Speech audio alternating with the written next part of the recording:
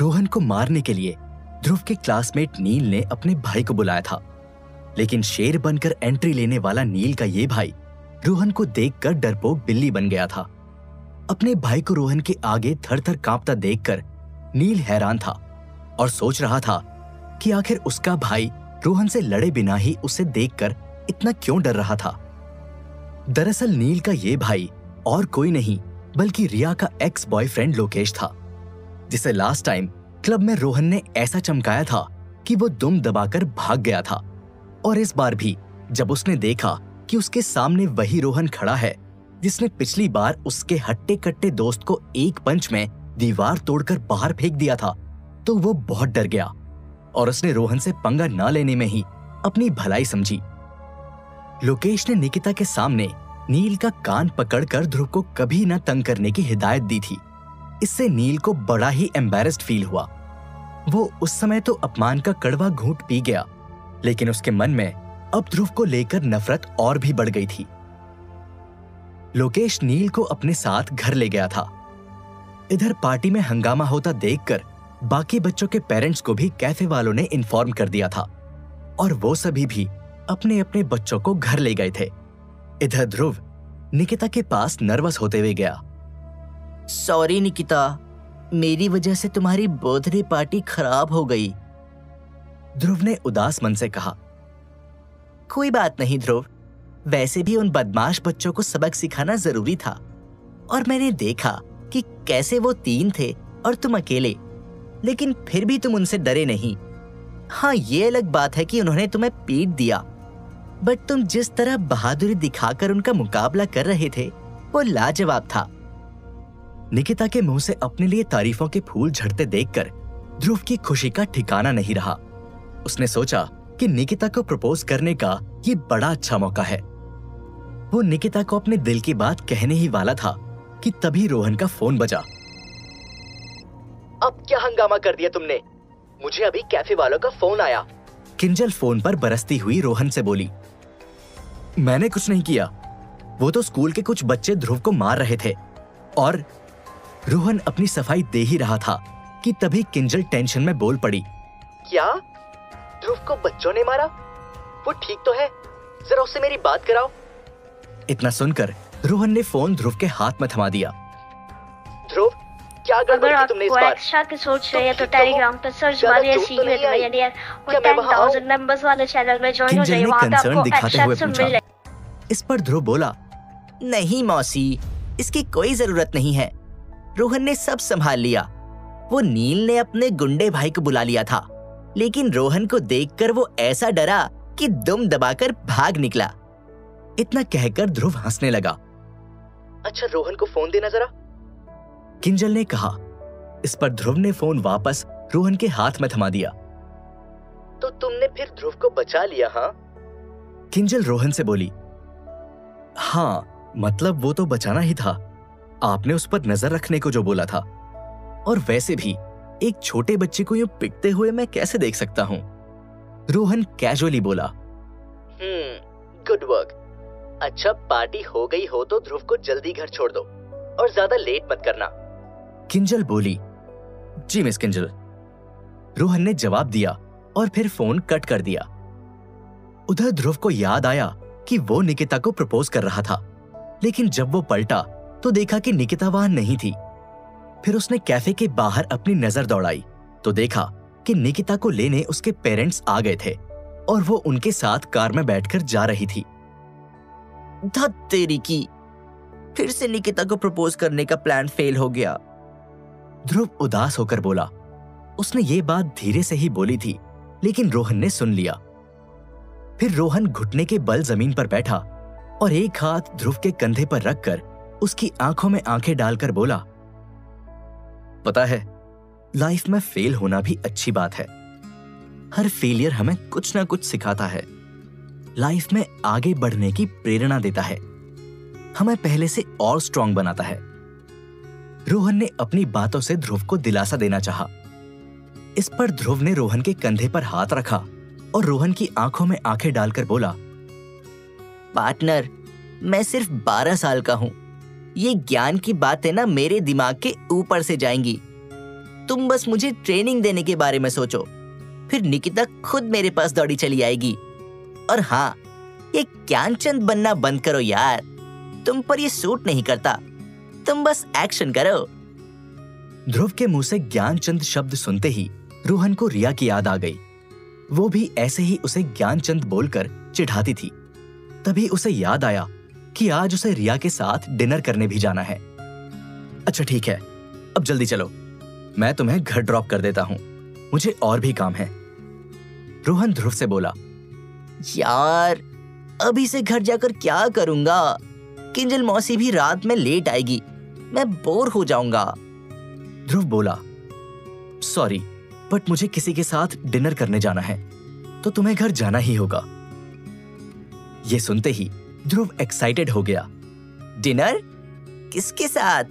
तुम्हारी गर्लफ्रेंड ये सुनकर रोहन नर्वस हो गया और बोला गर्लफ्रेंड नहीं, दोस्त। इस पर ध्रुव इतरा कर फिल्मी स्टाइल में बोला, लेकिन एक लड़का और एक लड़की कभी दोस्त नहीं रह सकते पार्टनर उनके बीच आज नहीं तो कल प्यार हो ही जाता है। ध्रुव की ये बात सुनकर रोहन और भी नर्वस हो गया और वो टॉपिक चेंज करते हुए बोला तुम ये सब छोड़ो और कार में बैठो। हम तुम्हारे घर चलते हैं।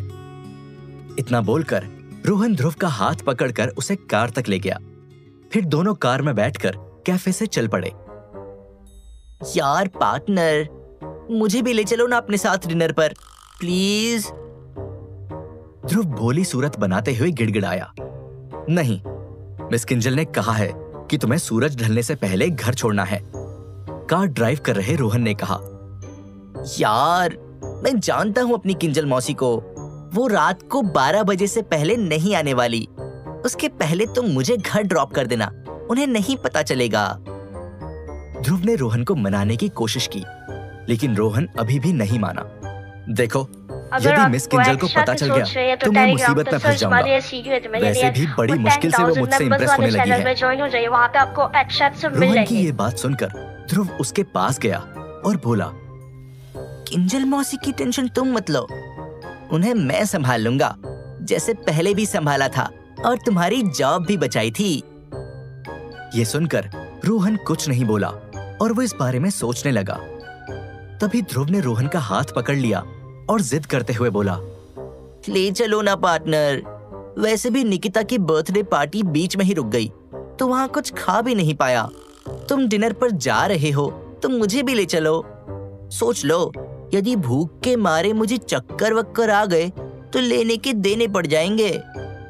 इतना कहकर ध्रुव सर पर हाथ रखकर चक्कर आने का नाटक करने लगा। ओ नो लगता है मेरा सर अभी से घूम रहा है। अच्छा अच्छा ठीक है। अब ये नौटंकी करना बंद करो। चलते हैं डिनर पर। लेकिन फिर तुम्हें जल्दी घर छोड़ दूँगा। रोहन ने ध्रुव की जिद के आगे हार मानते हुए कहा। Oh thank you partner Dhruv खुशी से उछल पड़ा और रोहन को गले लगा लिया जिससे रोहन को ऑकवर्ड लेकिन अच्छा फील हुआ। कुछ देर बाद रोहन की गाड़ी आहूजा कॉरपोरेशन के बाहर आकर रुक गई। वाओ तुम्हारी गर्लफ्रेंड इतनी बड़ी बिल्डिंग में काम करती है। ध्रुव आसमान को छूते आहूजा कॉरपोरेशन को देखकर बोला। ये सुनकर रोहन फिर सक पकाया देखो ध्रुव, आखिरी बार समझा रहा हूँ। रिया मेरी गर्लफ्रेंड नहीं है, सिर्फ़ दोस्त है। ओ, रिया तो ये है नाम तुम्हारी गर्लफ्रेंड सॉरी सॉरी दोस्त का। नाइस नेम रोहन और रिया। वैसे ये दोनों नाम एक साथ सुनने में भी काफ़ी अच्छे लगते हैं ना? ध्रुव ने फिर से रोहन को छेड़ते हुए कहा, इस पर रोहन ने अपना माथा पकड़ लिया। जैसे कह रहा हो कि इस बच्चे का कुछ नहीं हो सकता। फिर रोहन ने ध्रुव को आहूजा कॉरपोरेशन के अंदर ले जाना सही नहीं समझा और उसने रिया को ही कॉल करके नीचे आने के लिए कहा। कुछ देर बाद रिया नीचे आ गई, लेकिन उसने जैसे ही रोहन के साथ गाड़ी में एक बच्चे को बैठा देखा तो वो हैरान रह गई। रोहन ये बच्चा कौन है? रिया ने रोहन के पास आकर पूछा। अब रोहन कुछ बोलता तभी ध्रुव बीच में बोल पड़ा। मैं इनका बेटा और ये मेरे पापा। इतना कह के ध्रुव ने रोहन को कसकर गले लगा लिया।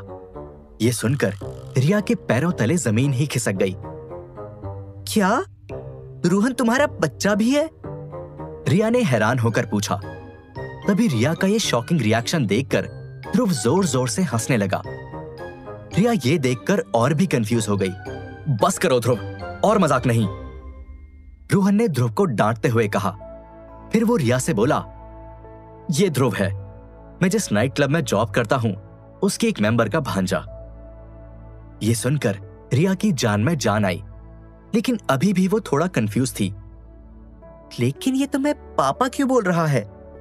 रिया ने पूछा, क्योंकि इस पर हमेशा फालतू के मज़ाक और मस्ती करने का भूत सवार रहता है, इसलिए तुम भी इसकी बातों को सीरियसली मत लेना। रोहन ने सारा माजरा समझाया, जिससे रिया का सारा कंफ्यूजन दूर हो गया और वो भी कार में बैठ गई। हालाँकि ध्रुव रोहन के पास आगे बैठा था, इसलिए रिया को पीछे बैठना पड़ा। Hello miss Riya I am Dhruv Dhruv ने पीछे पलटकर रिया की ओर हाथ बढ़ाया। ओह तो तुम्हें मेरा नाम भी पता है। Nice to meet you Dhruv. Riya ने एक प्यारी मुस्कान के साथ ध्रुव से हाथ मिलाते हुए कहा हाँ रोहन ने आपका नाम बताया। ध्रुव मुस्कुराते हुए बोला अच्छा? और क्या क्या बताया रोहन ने मेरे बारे में? इतना कहकर रिया रोहन की ओर प्यार भरी नज़रों से देखने लगी। यही कि रिया बहुत अच्छी है, मेरा बड़ा ख्याल रखती है। हम दोनों अच्छे दोस्त हैं। और सोच रहा हूँ कि मैं उसे अपनी गर्लफ्रेंड ध्रुव बड़ा चढ़ाकर बोल ही रहा था कि रोहन ने अपना एक हाथ ध्रुव के मुँह पर रख दिया और रिया की ओर देखकर बोला मैंने कहा था ना ये बहुत मज़ाक करता है। तुम इसकी बातों को सीरियसली मत लेना। यह सुनकर रिया ऑकवर्ड होकर हंसने लगी। तभी ध्रुव ने रोहन का हाथ अपने मुँह से हटाया और रिया की ओर देखकर बोला हाँ रिया मैं तो मज़ाक कर रहा था। रोहन ने तुम्हारी कोई तारीफ़ नहीं की बल्कि बुराई की। रिया बहुत बेकार है नक चढ़ी है बक बक करती रहती है। ध्रुव रोहन के मज़े लेते हुए और बोला तभी रोहन ने फिर से ध्रुव के मुँह पर हाथ रख दिया और वो तंग आकर अपने दोनों हाथ जोड़कर बोला चुप रहने का क्या लेगा मेरे भाई? एक आइसक्रीम। ध्रुव फट से बोला ठीक है दिला दूँगा लेकिन तब तक अपने मुँह पर जिप लगा लो। रोहन ने कहा तभी ध्रुव अपने पैंट की जिप खोलने लगा। अब ये क्या कर रहे हो? रोहन ने हैरान होकर पूछा। तुमने ही बोला ना कि मुँह पर जिप लगा लो? तो अभी मेरे पास सिर्फ़ पैंट में ही जिप है। इतना बोलकर ध्रुव हंसने लगा। उधर पीछे बैठी रिया भी ज़ोर ज़ोर से हंसने लगी। उसे ध्रुव और रोहन की नोक झोंक देखकर बड़ा मज़ा आ रहा था। ये देखकर फाइनली रोहन भी हंस पड़ा। ये शायद पहली बार था। जब रिया ने रोहन को इतना खुलकर हँसते हुए देखा। Thank you Dhruv. तुम्हारी वजह से आज मैंने पहली बार रोहन को इतना खुलकर हँसते हुए देखा और मुझे भी तुमने बड़ा हंसाया। रिया ने ध्रुव से कहा, जिस पर ध्रुव ने एक बड़ी सी स्माइल दी और कहा वेलकम रिया। फिर रिया ने रोहन से कहा, रोहन, तुम ऐसे ही हमेशा खुलकर हंसा करो ना। ऐसे हँसते हो तो कितने अच्छे लगते हो। रोहन रिया की इस बात पर कुछ रिएक्ट करता, तभी अचानक से एक लाल रंग की कार उनके सामने आ गई और उनका रास्ता ब्लॉक कर दिया। ये देखकर रोहन ने अपनी कार के ब्रेक लगा दिए। तभी उस लाल कार से तीन लाल रंग का सूट पहने आदमी बाहर निकले। वो तीनों रोहन के पास आए, जिसे देखकर रोहन फ़ौरन अलर्ट हो गया और अपनी जेब से गन निकालकर उन तीनों पर तान दी। यदि मिस रिया को हाथ भी लगाया तो अंजाम बहुत बुरा होगा। रोहन ने तीनों को धमकाया। तभी उन तीनों में से एक शख्स आगे आया और बोला, हमें मिस रिया से कोई लेना देना नहीं है। हम आपके लिए यहाँ आए हैं। ये सुनते ही रोहन हैरान रह गया। आखिर कौन है ये लोग? और क्या चाहते हैं रोहन से? जानने के लिए सुनिए, सीक्रेट मिलेनियर का अगला एपिसोड, सिर्फ़ पॉकेट एफएम पर।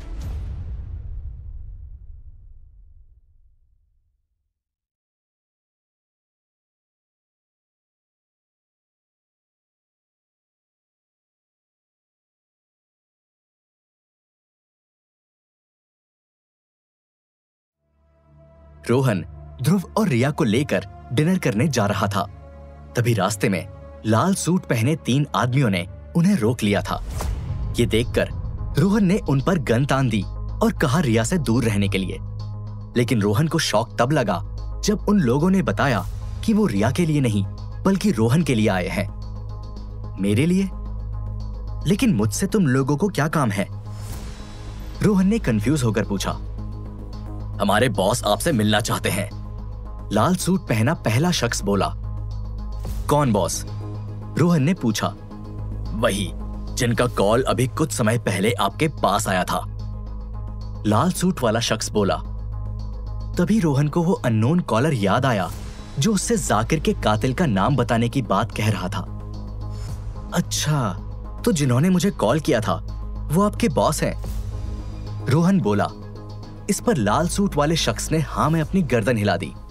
फिर रोहन ने अपनी गन नीचे रख ली और कहा, मैंने उनसे कहा था कि मैं इस बारे में सोचकर बताऊँगा। तभी लाल सूट पहना दूसरा शख्स अकड़ कर बोला, लेकिन हमारे बॉस को ज़्यादा इंतज़ार करना पसंद नहीं। तो ये उनकी प्रॉब्लम है, मेरी नहीं। रोहन ने बेबाकी से जवाब दिया, तेरी इतनी हिम्मत हमारे बॉस को इग्नोर करता है। उस दूसरे शख्स ने धमकाते हुए कहा, यदि तुम ऐसे ही धमकी दोगे तो मुझे उनसे मिलने के बारे में सोचने में और भी ज़्यादा टाइम लगेगा। रोहन सख्त लहजे में बोला, ज़्यादा टाइम लगाओगे तो हम तुम्हें उठा कर ले जाएँगे। लाल सूट पहने तीसरे शख्स ने गुस्से में रोहन को धमकाया अच्छा यदि ऐसा है तो आ जाओ मैदान में और ले जाओ मुझे। इतना कह के रोहन कार से बाहर निकल गया। रोहन का ये अंदाज देखकर कार में बैठा ध्रुव एक्साइटेड हो गया। वाओ अब आएगा मज़ा। ध्रुव खुश होकर बोला। माहौल गर्म देखकर लाल सूट पहना पहला शख्स बीच में आया और रोहन और अपने दोनों साथियों को शांत कराते हुए बोला देखो लड़ाई की कोई ज़रूरत नहीं है। हम शांति से बात करके भी ये मामला सुलझा सकते हैं। लेकिन ये शांति की भाषा समझता कहाँ है?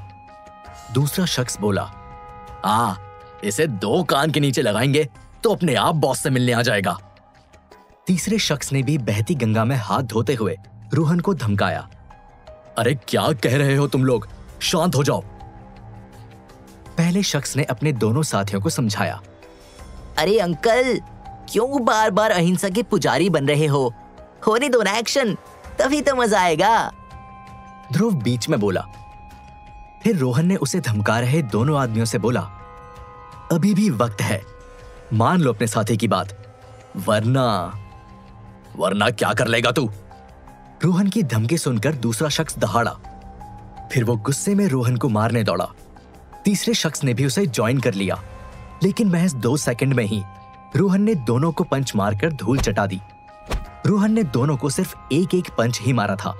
और वो ज़मीन पर ऐसे दर्द से चिल्ला रहे थे, जैसे किसी ने उनकी एक घंटे तक ज़बरदस्त पिटाई की हो। आ गया स्वाद। मैंने तो पहले ही कहा था कि शांत हो जाओ। जब तुम दोनों रोहन के बारे में जानते नहीं तो क्यों बीच में कूदकर सुपरमैन बन रहे थे? मैंने सुना है ये रोहन सुपरमैन का भी बाप है। लाल सूट पहने पहले शख्स ने अपने दोनों साथियों को फटकारा। फिर उसने रोहन से प्यार से कहा, रोहन सर, आप आराम से सोच लीजिए। आपकी जब मर्ज़ी हो, तब मिलने आना। लेकिन हो सके तो प्लीज़ एक बार ज़रूर आना। हमारे बॉस आपसे मिलने को बड़े बेताब हैं। इतना कह के उस शख्स ने अपने दोनों साथियों को जैसे तैसे उठाकर कार में पटका और वो वहाँ से चला गया। इधर रोहन की पावर देखकर गाड़ी में बैठे ध्रुव की आँखें फटी की फटी रह गई।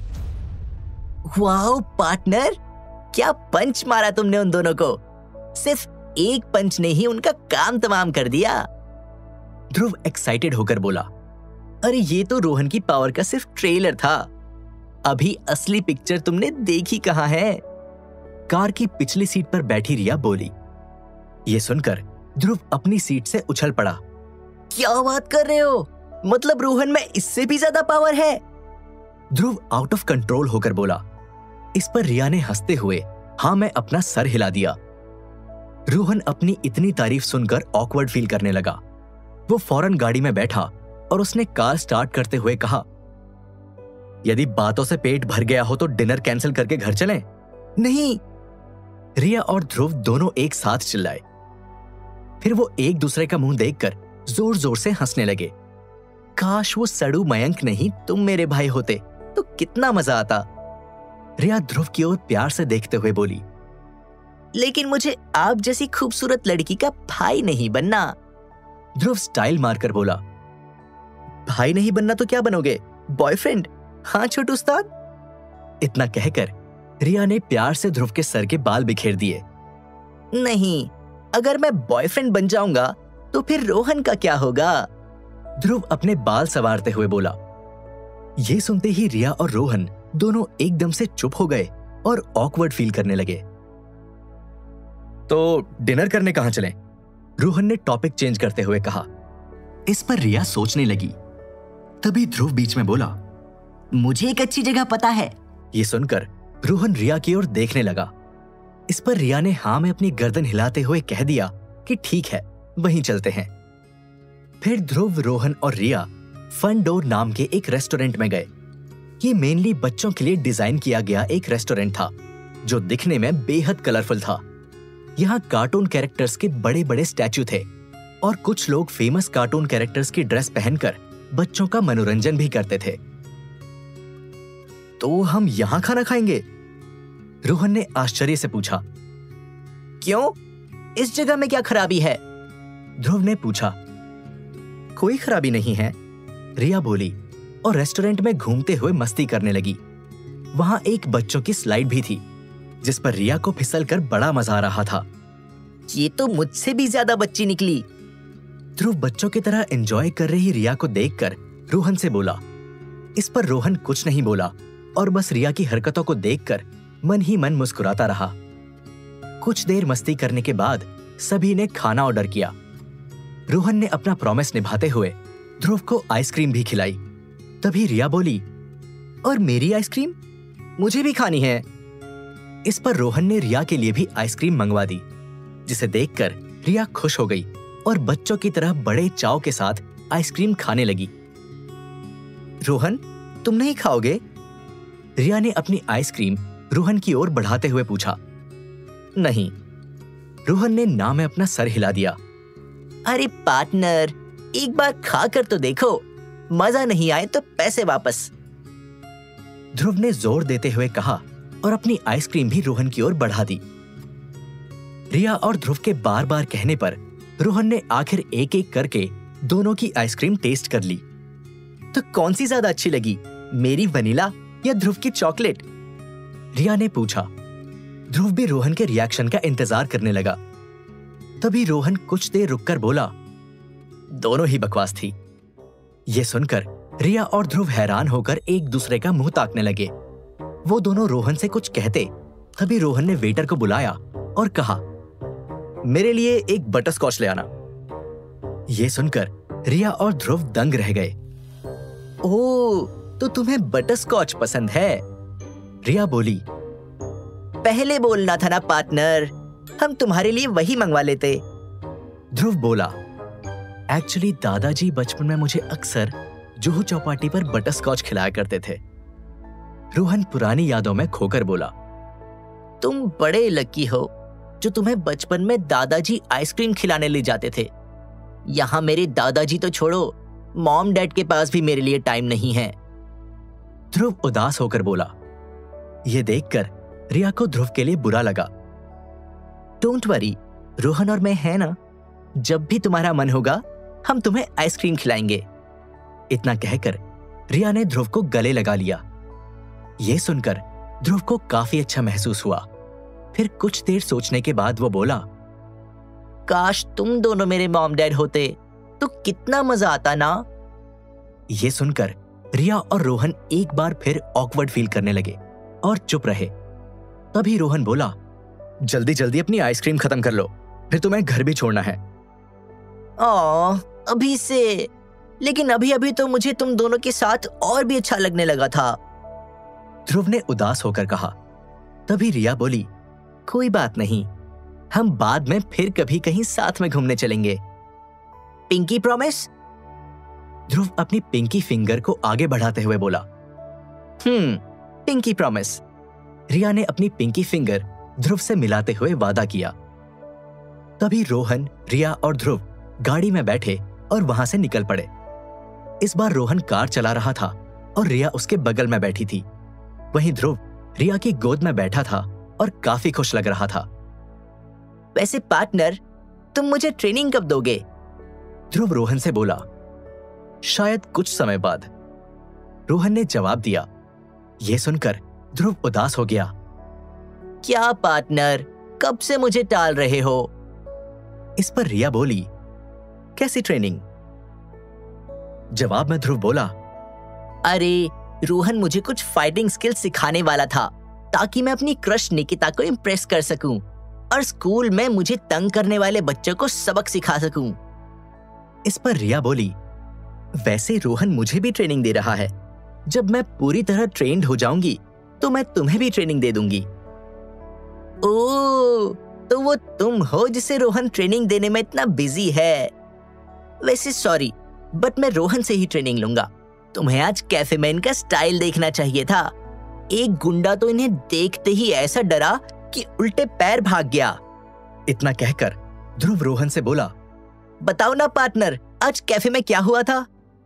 इस पर रोहन ने रिया की ओर देखते हुए कहा वैसे एक बात है जो रिया को ज़रूर बतानी चाहिए। कौन सी बात? रिया ने इंटरेस्ट लेते हुए पूछा।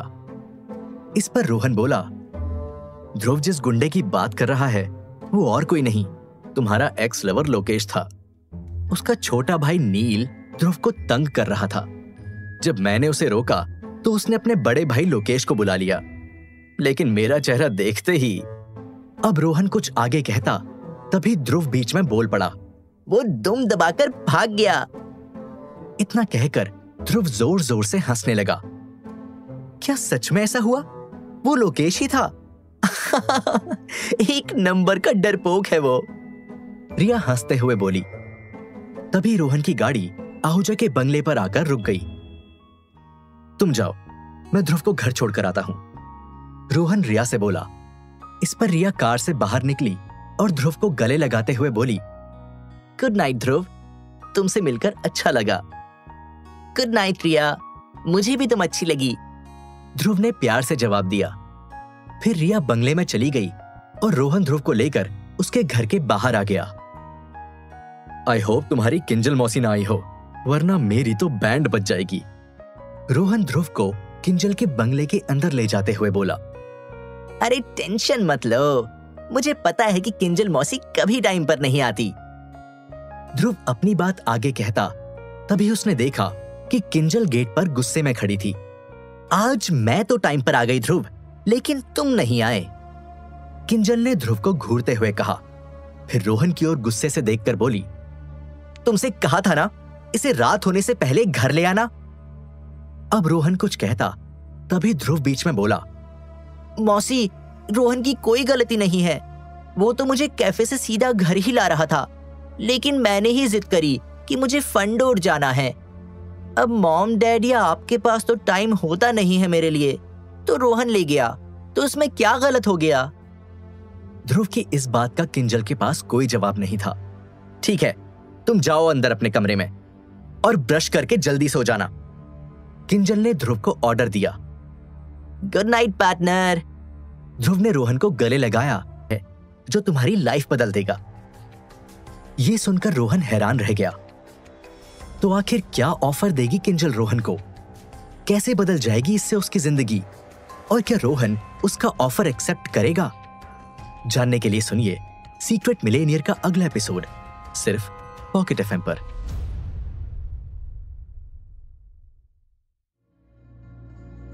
रोहन ध्रुव को छोड़ने उसके घर गया था। तभी किंजल बोली, मेरे पास तुम्हारे लिए एक ऑफ़र है, जो तुम्हारी लाइफ बदल देगा। यह सुनकर रोहन एक पल के लिए हैरान हो गया और सोच में पड़ गया कि किंजल उसे ऐसा कौन सा ऑफ़र दे रही है। क्या ऑफ़र है? रोहन ने पूछा। मैं नोटिस कर रही हूँ कि पिछले कुछ दिनों से ध्रुव तुमसे कुछ ज़्यादा ही घुल मिल गया है। तो क्या तुम उसके केयरटेकर बनोगे? किंजल के इस ऑफ़र ने रोहन को चौंका दिया। वो डेफिनेटली ये ऑफ़र नहीं लेना चाहता था, क्योंकि वो पहले ही रिया को प्रोटेक्ट करने की जॉब में बिज़ी है। ऊपर से वो नाइट क्लब वाली जॉब अलग है। फिर रोहन को अपने मॉम डैड तक भी पहुँचना है। वहीं वो बिग बुल तक भी पहुँचना चाहता है। और किंजल उसका वो माध्यम बन सकती है। इसलिए वो उसे भी नाराज़ नहीं कर सकता है।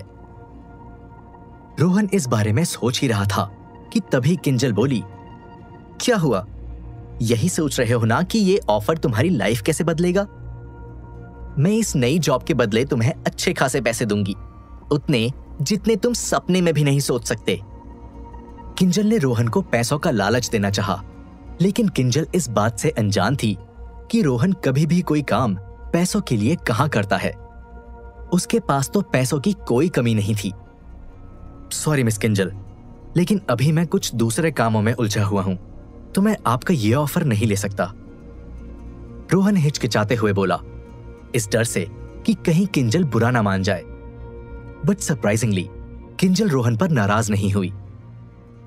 वेल well, आखिरी फैसला तुम्हारा ही है लेकिन मैं चाहती हूँ कि तुम इस ऑफ़र के बारे में सोचो।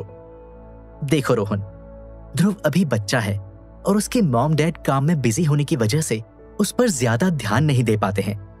हाँ मैं कोशिश करती हूँ कि उसे अकेलापन महसूस ना हो, लेकिन फिर भी अपने वर्क कमिटमेंट के चलते ध्रुव के साथ ज़्यादा टाइम स्पेंड नहीं कर पाती हूँ। इस पर रोहन बोला हाँ मैं ये सब समझ सकता हूँ। ध्रुव को एक प्रॉपर केयर और किसी के साथ की ज़रूरत है। लेकिन मैं ही क्यों? आप उसके लिए कोई दूसरा केयर टेकर भी तो रख सकती हैं।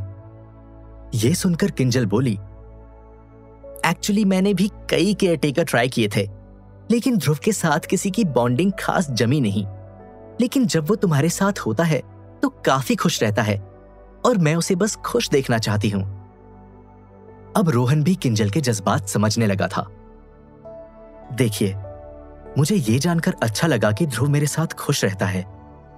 लेकिन मेरे अपने भी कुछ पर्सनल गोल्स हैं। वो कमिटमेंट है, जिनके चलते मैं ध्रुव के साथ 24 घंटे नहीं रह सकता। लेकिन हाँ कभी कभी जब भी मौका मिले तो मैं उसे थोड़ी बहुत कंपनी ज़रूर दे सकता हूँ, और इसके लिए आपको मुझे कोई पैसे देने की ज़रूरत नहीं है। रोहन की ये बातें सुनकर किंजल बड़ी इंप्रेस हो गई। वो समझ गई कि रोहन उस टाइप का शख्स नहीं है। जिसे पैसों से खरीदा जा सकता है। वैसे तुम काफ़ी इंटरेस्टिंग बंदे हो, रोहन। मे बी हमें किसी दिन साथ में लंच या डिनर करके बातें करनी चाहिए। मैं तुम्हारे बारे में और भी जानना चाहूँगी।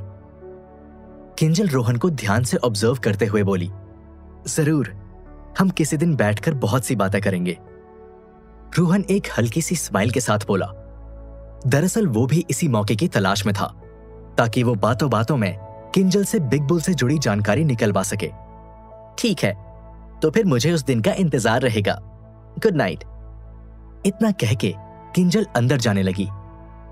Good night miss Kinjal Rohan ने जवाब दिया और किंजल को जाता देखकर वो भी वहाँ से चला गया।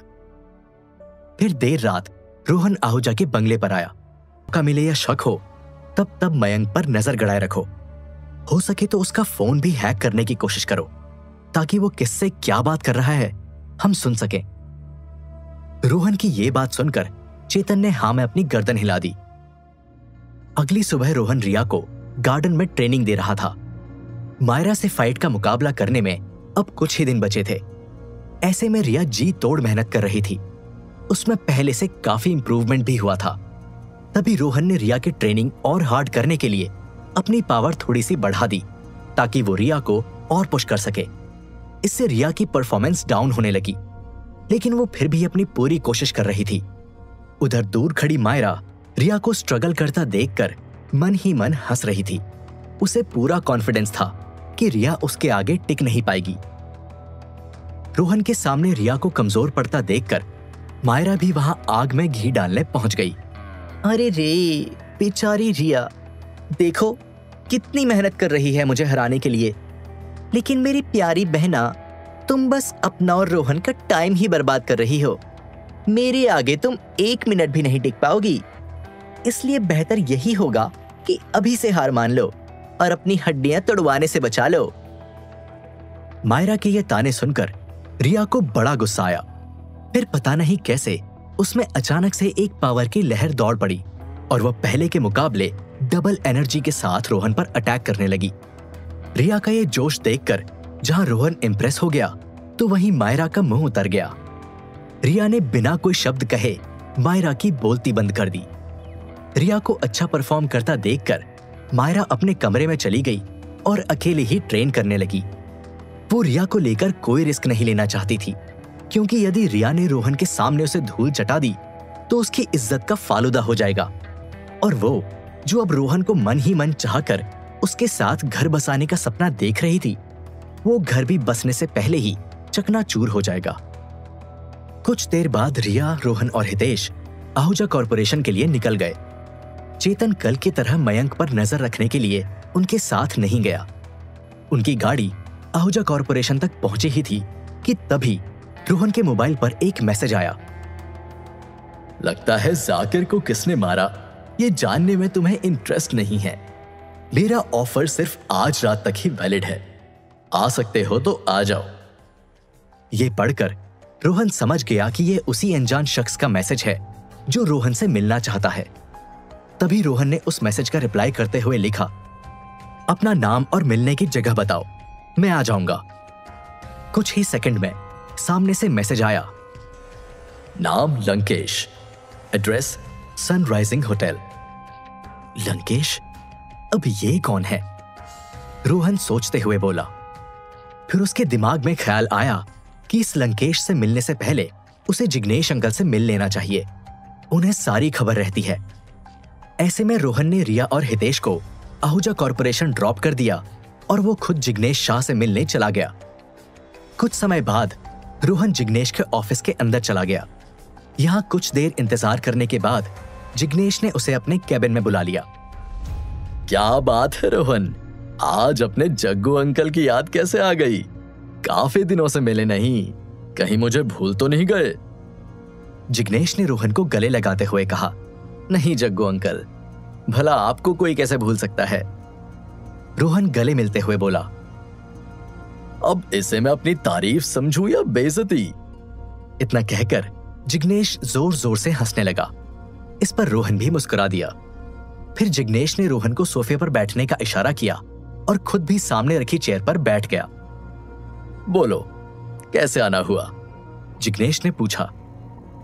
एक्चुअली मुझे बार बार एक शख्स के कॉल्स और मैसेजेस आ रहे हैं। वो डायरेक्टली मुझे पठान का कातिल पुकार रहा है और ये दावा भी कर रहा है कि उसे पता है कि जाकिर को किसने मारा। रोहन की यह बात सुनकर जिग्नेश भी थोड़ा सीरियस हो गया और बोला कौन है वो शख्स? इस पर रोहन बोला, लंकेश करके कोई है। ये नाम सुनते ही जिग्नेश चौक गया। लंकेश, लेकिन वो तुमसे क्यों मिलना चाहता है? और उसका पठान, जाकिर, इन सबसे क्या लेना देना है? जिग्नेश कंफ्यूज होकर सोचने लगा, वैसे ये लंकेश है कौन? क्या आप उसे जानते हैं? रोहन ने जिज्ञासा लेते हुए पूछा इस पर जिग्नेश बोला, लंकेश सिंगापुर का राइजिंग डॉन है। वैसे तो वो हमेशा लो की रहना पसंद करता है, लेकिन पिछले कुछ समय से वो थोड़ा एक्टिव हो गया है। शायद अब उसे ऊपर उठना है, और बड़ा और ताकतवर बनना है। लेकिन फिर भी एक बात समझ में नहीं आई कि वो तुमसे क्यों मिलना चाहता है। यह सुनकर रोहन कुछ सोचने लगा और फिर बोला तो क्या मुझे उससे मिलना चाहिए?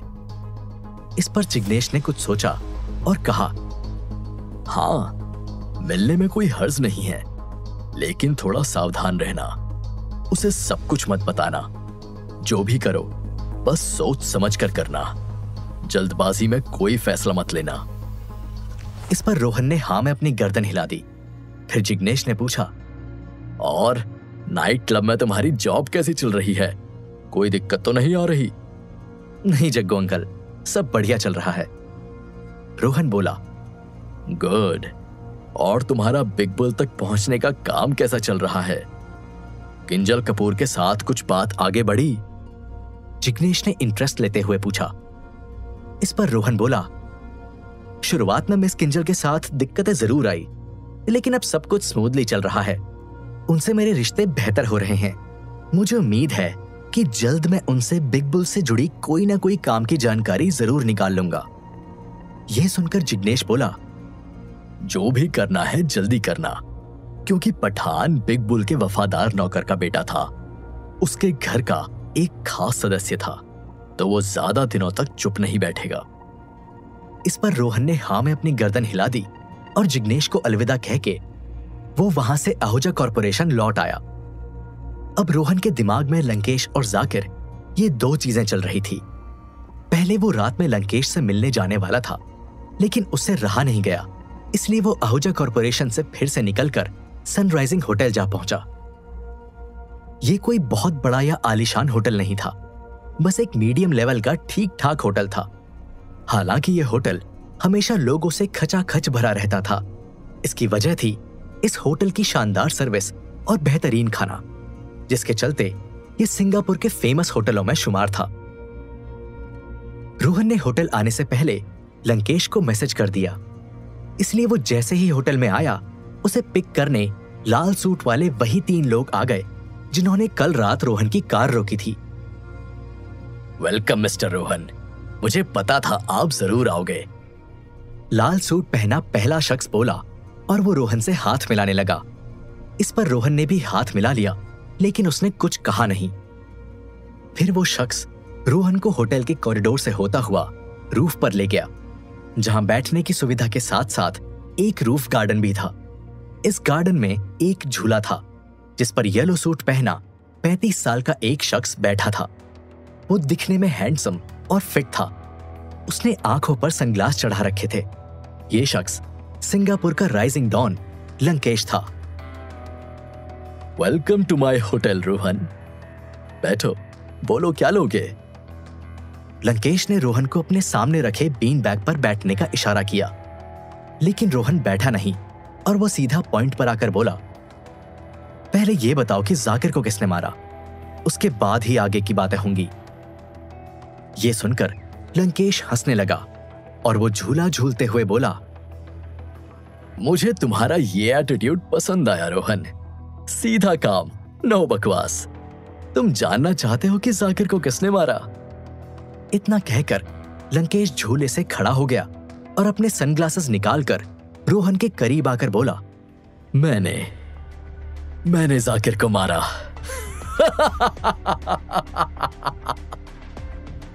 इतना कहकर लंकेश ज़ोर ज़ोर से राक्षसी हँसी हंसने लगा। उधर जाकिर के असली कातिल का नाम सुनकर रोहन के पैरों तले ज़मीन खिसक गई। तो अब क्या होगा आगे? आखिर क्यों लंकेश ने किया जाकिर का कत्ल? और क्या चाहता है वो रोहन से? जानने के लिए सुनिए सीक्रेट मिलेनियर का अगला एपिसोड सिर्फ़ पॉकेट एफएम पर।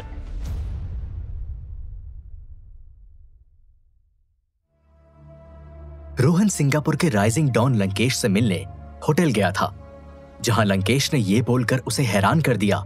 कि जाकिर को उसने ही मारा है। यह सुनते ही रोहन के पैरों तले ज़मीन खिसक गई। तुमने जाकिर को क्यों मारा? जवाब जानने को बेताब रोहन ने पूछा। इस पर लंकेश रूफ गार्डन पर रखे अपने झूले पर बैठ गया और बड़े कैजुअल वे में बोला, बस, मन किया तो मार दिया।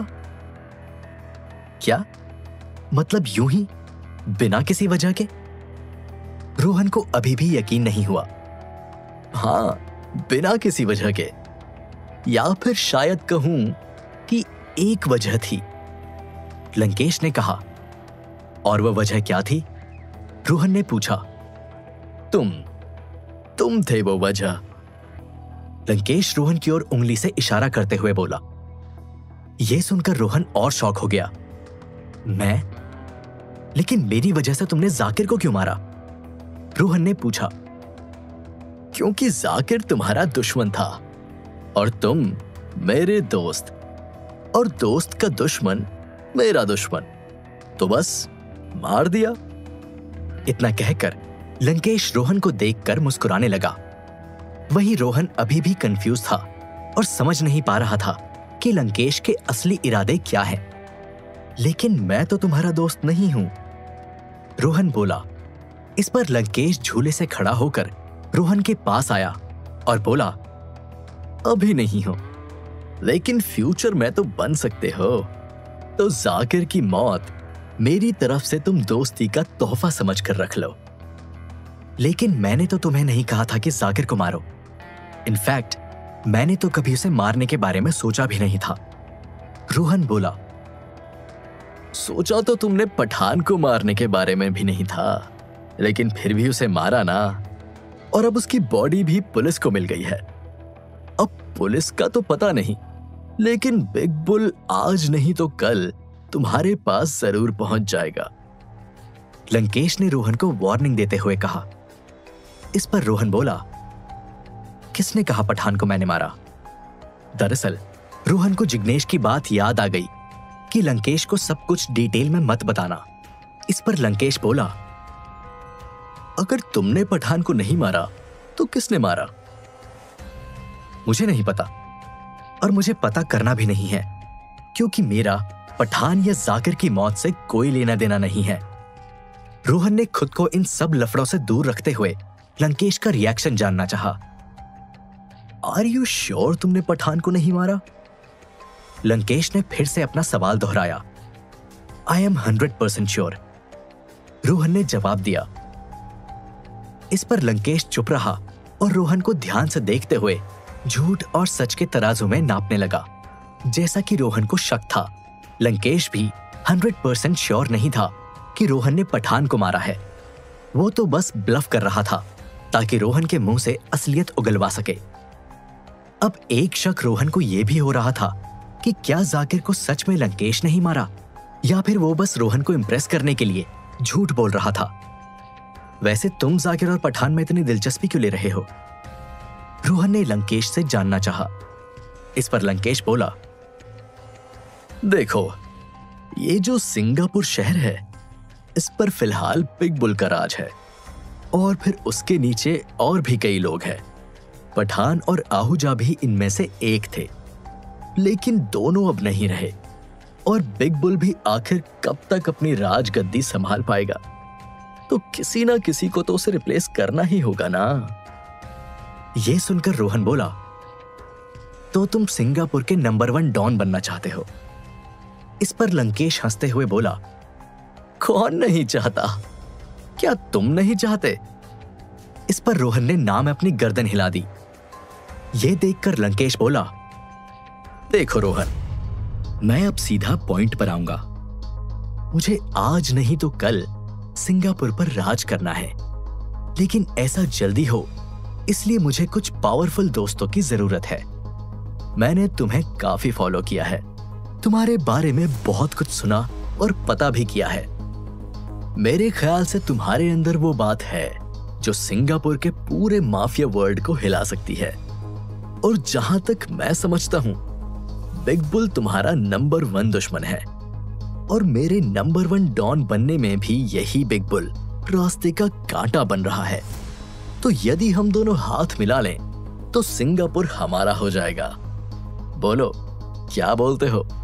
बनोगे मेरे पार्टनर? अब रोहन को सारा माजरा समझ में आ गया। लंकेश नंबर वन पोजीशन हासिल करने के लिए रोहन की मदद लेना चाहता है। उन दोनों का कॉमन एनिमी बिग बुल है और वो इसका फ़ायदा उठाना चाहता है। लंकेश का ऑफ़र तो अच्छा है, लेकिन रोहन लंकेश के बारे में कुछ नहीं जानता था। जैसे, लंकेश कितना भरोसे के लायक है, इसका उसे एक परसेंट भी अंदाज़ा नहीं था। इसलिए उसने इन सभी पहलुओं पर विचार किया और लंकेश को ना ही हाँ बोला और ना ही ना बोला, बल्कि कहा, मैं तुम्हारे ऑफ़र के बारे में सोचूँगा। फ़िलहाल मुझे कुछ ज़रूरी काम है तो जाना होगा। इतना कह के रोहन वहाँ से जाने लगा। उधर लंकेश को यकीन नहीं हुआ कि रोहन ने उसे फिर बीच में लटका दिया। हालाँकि वो समझ चुका था कि रोहन को डरा धमका कर या बहला फुसला कर अपनी टीम में शामिल नहीं किया जा सकता। इसलिए उसने भी रोहन के साथ दोस्त जिग्नेश ने अपना प्लान बताया, जिस पर रोहन ने अग्री किया और कॉल कट कर दिया। फिर रोहन आहूजा कॉरपोरेशन लौट आया, जहाँ उसे चेतन मिला, जिसने रोहन को बताया कि उसने एक हैकर की मदद से मयंक का फ़ोन हैक कर लिया था। मयंक फ़ोन पर उस लंबे बालों वाले शख्स से अक्सर बात करता रहता है, जिसे हमने उस दिन पठान के क्लब में भी देखा था। उस शख्स का नाम अन्ना है। हालाँकि उस अन्ना की अभी कोई खास जानकारी नहीं निकल पाई, लेकिन वो अन्ना उस मयंक से बोल रहा था कि उसके बॉस ने फ़िलहाल कुछ समय मांगा है, इसलिए कुछ दिनों के लिए रिया को मारने का प्लान होल्ड पर रख दो। ये सुनकर रोहन को एक तरफ़ खुशी हुई कि रिया कुछ दिनों के लिए सेफ़ है तो वहीं उसकी क्यूरियोसिटी और डबल हो गई कि उस अन्ना का बॉस कौन है। फ़िलहाल रोहन ने चेतन को मयंक पर नज़रें गड़ाए रखने को कहा और फिर रिया से मिलने उसके कैबिन में चला गया। कैसा चल रहा है काम? रोहन रिया के कैबिन में दाखिल होते हुए बोला, सब बढ़िया चल रहा है, बस चीज़ों को प्रॉपर अरेंज करने में थोड़ा टाइम लग रहा है। लेकिन I am hundred percent sure Ahuja Corporation फिर से ग्रो करेगा।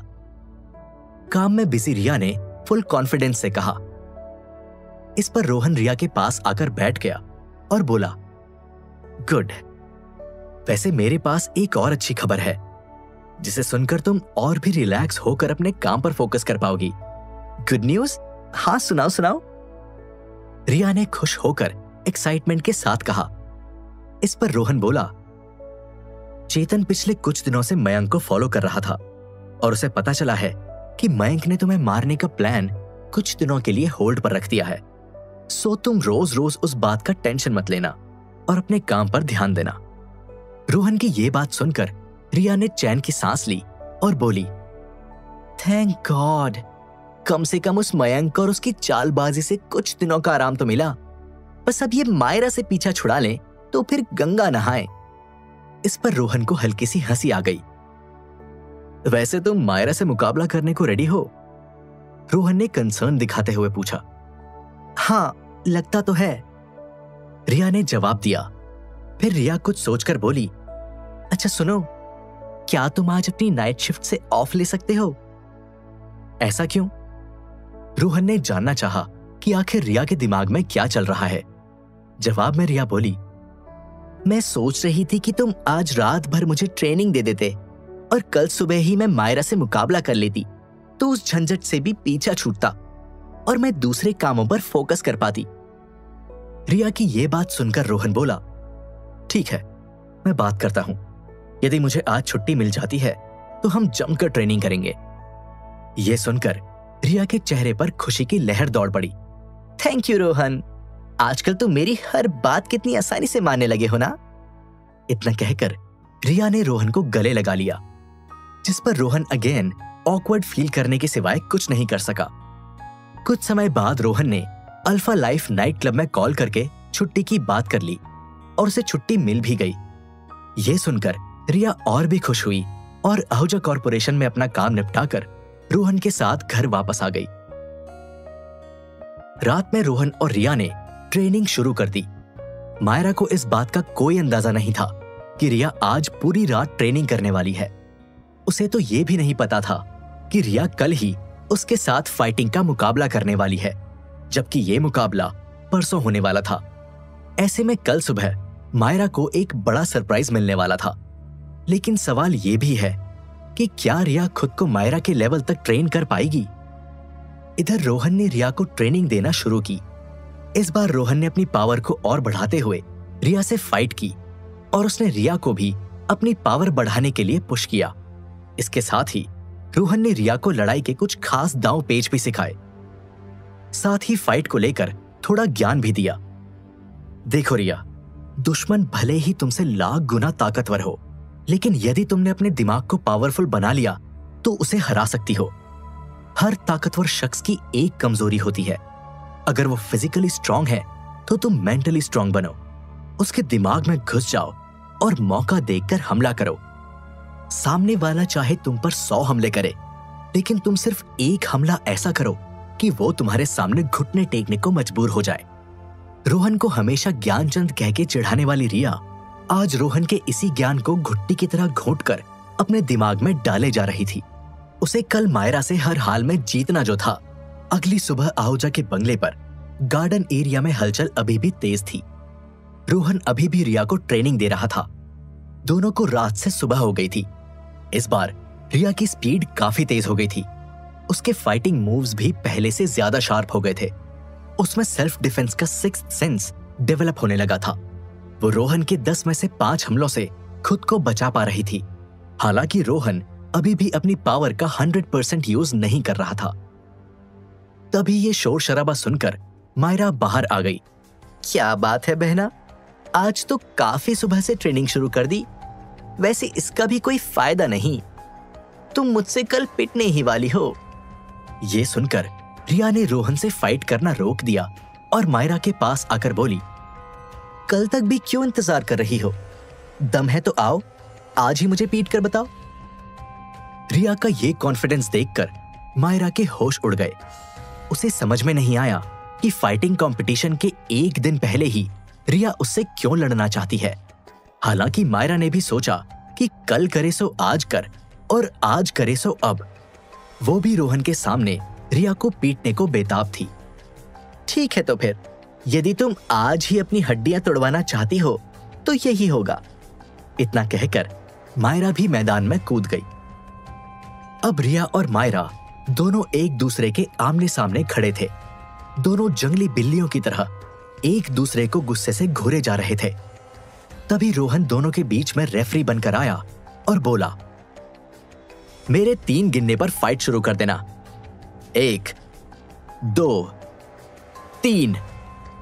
ये सुनते ही रिया और मायरा दोनों एक दूसरे पर लपक पड़े। तो अब क्या होगा आगे?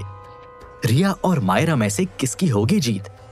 कौन होगा इस कैट फाइट का विनर जानने के लिए सुनिए सीक्रेट मिलेनियर का अगला एपिसोड सिर्फ़ पॉकेट एफएम पर।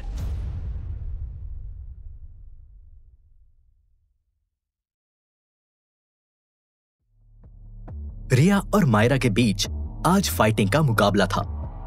रिया मायरा से लड़ने के लिए पिछले एक हफ़्ते से रोहन से ट्रेनिंग ले रही थी। वहीं मायरा पहले ही अपनी शानदार फाइटिंग स्किल्स दिखाकर सबको हैरान कर चुकी थी। ऐसे में रिया का उसके आगे टिक पाना काफ़ी मुश्किल था। रोहन के इशारा करते ही रिया और मायरा एक दूसरे पर लपक पड़े। मायरा ने ना आओ देखा ना ताओ और बिना कोई रहम दिखाकर रिया पर पंच और किक की बरसात कर दी। उधर रिया मायरा के इन हमलों से बचने की पूरी कोशिश कर रही थी। कभी वो साइड हो जाती, कभी नीचे झुक जाती तो कभी ऊपर हवा में उछल जाती। इसके अलावा, वो अपने पैरों और हाथों का इस्तेमाल करके मायरा के पंच और किक को ब्लॉक भी कर रही थी। कुछ मिनट तक ऐसा ही चलता रहा। बस तुम्हें खुद को बचाना ही आता है। हमला कब करोगी? मैं बोर हो रही हूँ। रिया से फाइट करते करते मायरा बोली, मायरा ने यह बोला ही था कि तभी रिया ने मायरा के पैरों पर अचानक से अटैक कर दिया। इससे मायरा का बैलेंस बिगड़ा और वो गिरते गिरते बची। लो, मार दिया। अब खुश? रिया ने ताना कसते हुए कहा और फिर मायरा पर अपने किक और पंच की बरसात कर दी। हालाँकि मायरा इन सभी हमलों से आसानी से बच रही थी। रिया समझ गई कि ऐसे बात नहीं बनेगी। उसे कुछ और करना होगा। तभी रिया मायरा से बोली गेस व्हाट मैं कल रोहन के साथ डिनर पर गई थी। बड़ा मज़ा आया। ये सुनते ही मायरा को गुस्सा आने लगा और फिर वो रिया पर और भी आक्रामक होकर हमला करने लगी। ये देखकर रिया हल्का सा मुस्कुराई और मायरा से बराबरी का मुकाबला करने की कोशिश करते हुए बोली, और पता है, डिनर पर रोहन ने क्या किया? उसने मुझे अपने हाथों से खाना खिलाया। रिया की तरकीब काम कर रही थी। मायरा का गुस्सा अब आउट ऑफ़ कंट्रोल होते जा रहा था। वो गुस्से में अपने मूव्स पर कंट्रोल नहीं रख पा रही थी। उसके मूव्स पहले से ज़्यादा आक्रामक ज़रूर हो गए थे। लेकिन रोहन और रिया से जलन की भावना के चलते वो फाइट पर और ठीक से फोकस नहीं कर पा रही थी। बस रिया इसी बात का फ़ायदा उठाना चाहती थी।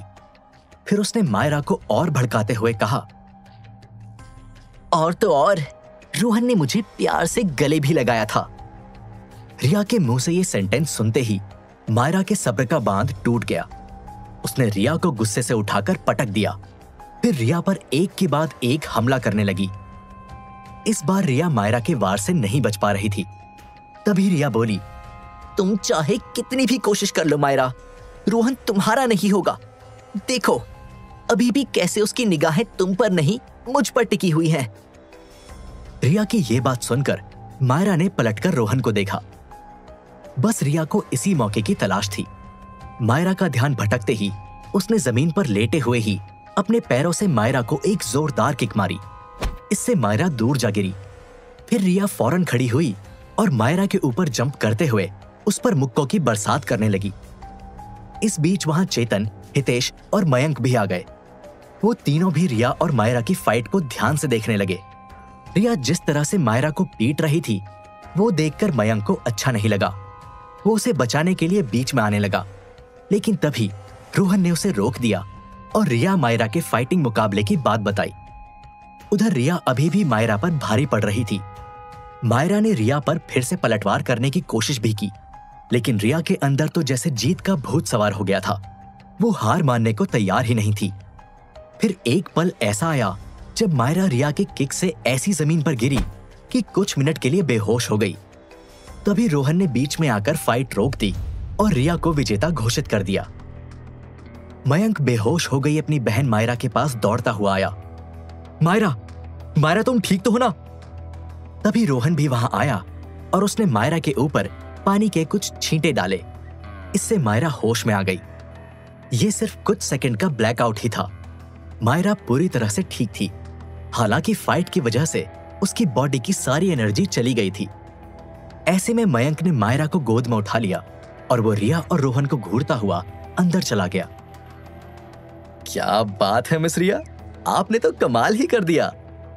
दूर खड़ा हितेश रिया की फाइटिंग स्किल से इंप्रेस होकर बोला,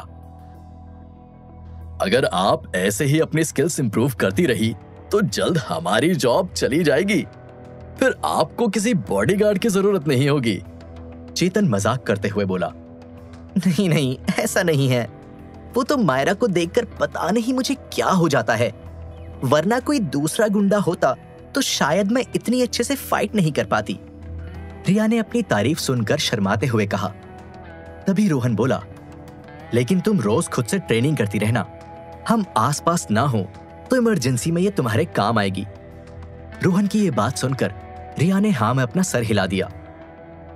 उधर मयंक ने रिया से फाइट के बाद दर्द से कराह रही मायरा को बेड पर लेटा। फिर उसके लिए मुझे उस रिया को जान से ही क्यों ना मारना पड़े? मायरा जज्बातों में बहकर दहाड़ी। इस पर मयंक ने मायरा का हाथ पकड़ा और कहा, मायरा, तुम भावनाओं में बहकर कोई ऐसी बेवकूफ़ी मत कर बैठना, जिससे हमारा बना बनाया प्लान चौपट हो जाए। रिया के साथ कब और क्या करना है, ये तुम मुझ पर छोड़ दो और मुझे बिना बताए कोई भी बड़ा कदम मत उठाना। समझी? ये सुनकर मायरा चुप रही और धीरे से अपनी पलके झपकाकर इशारे में हाँ बोल दिया। फिर मयंक वहाँ से जाने लगा। लेकिन तभी वो गेट पर रुककर पलटा और बोला, और हाँ ये रोहन का भूत अपने दिमाग से निकाल दो, वरना अच्छा नहीं होगा। इतना कहकर मयंक वहाँ से चला गया। उधर मायरा गुस्से भरी निगाहों से मन ही मन कुछ सोचने लगी। दूसरी ओर मायरा को फाइट में हराने के बाद रिया काफ़ी खुश थी। वो, रोहन और हितेश कार में बैठकर आहूजा कॉरपोरेशन जा रहे थे। चेतन अभी भी मयंक पर नज़र रखने में बिज़ी था। मिस रिया, आज की जीत के बाद एक पार्टी तो बनती है। कार ड्राइव कर रहा हितेश बोला हाँ ज़रूर। रिया ने जवाब दिया। फिर रिया रोहन की तरफ़ देखकर बोली, आज तुम्हारी जॉब का क्या सीन है? इस पर रोहन बोला, आज मेरी डे शिफ्ट है। यह सुनकर रिया बोली, ओके तो हम नाइट में कुछ प्लान करते हैं पार्टी का। इस पर रोहन ने हाँ में अपनी गर्दन हिला दी।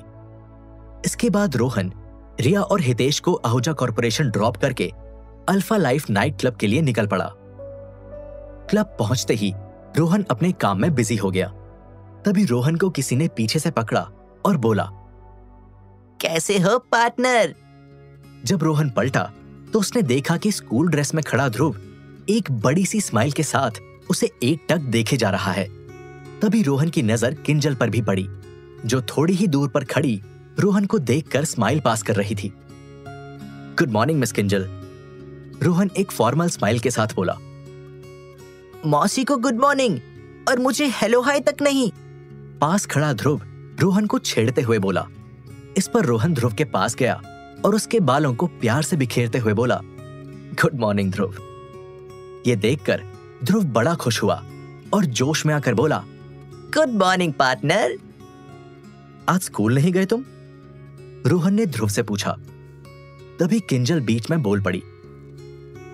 रोहन क्या तुम आज ध्रुव को स्कूल छोड़ दोगे?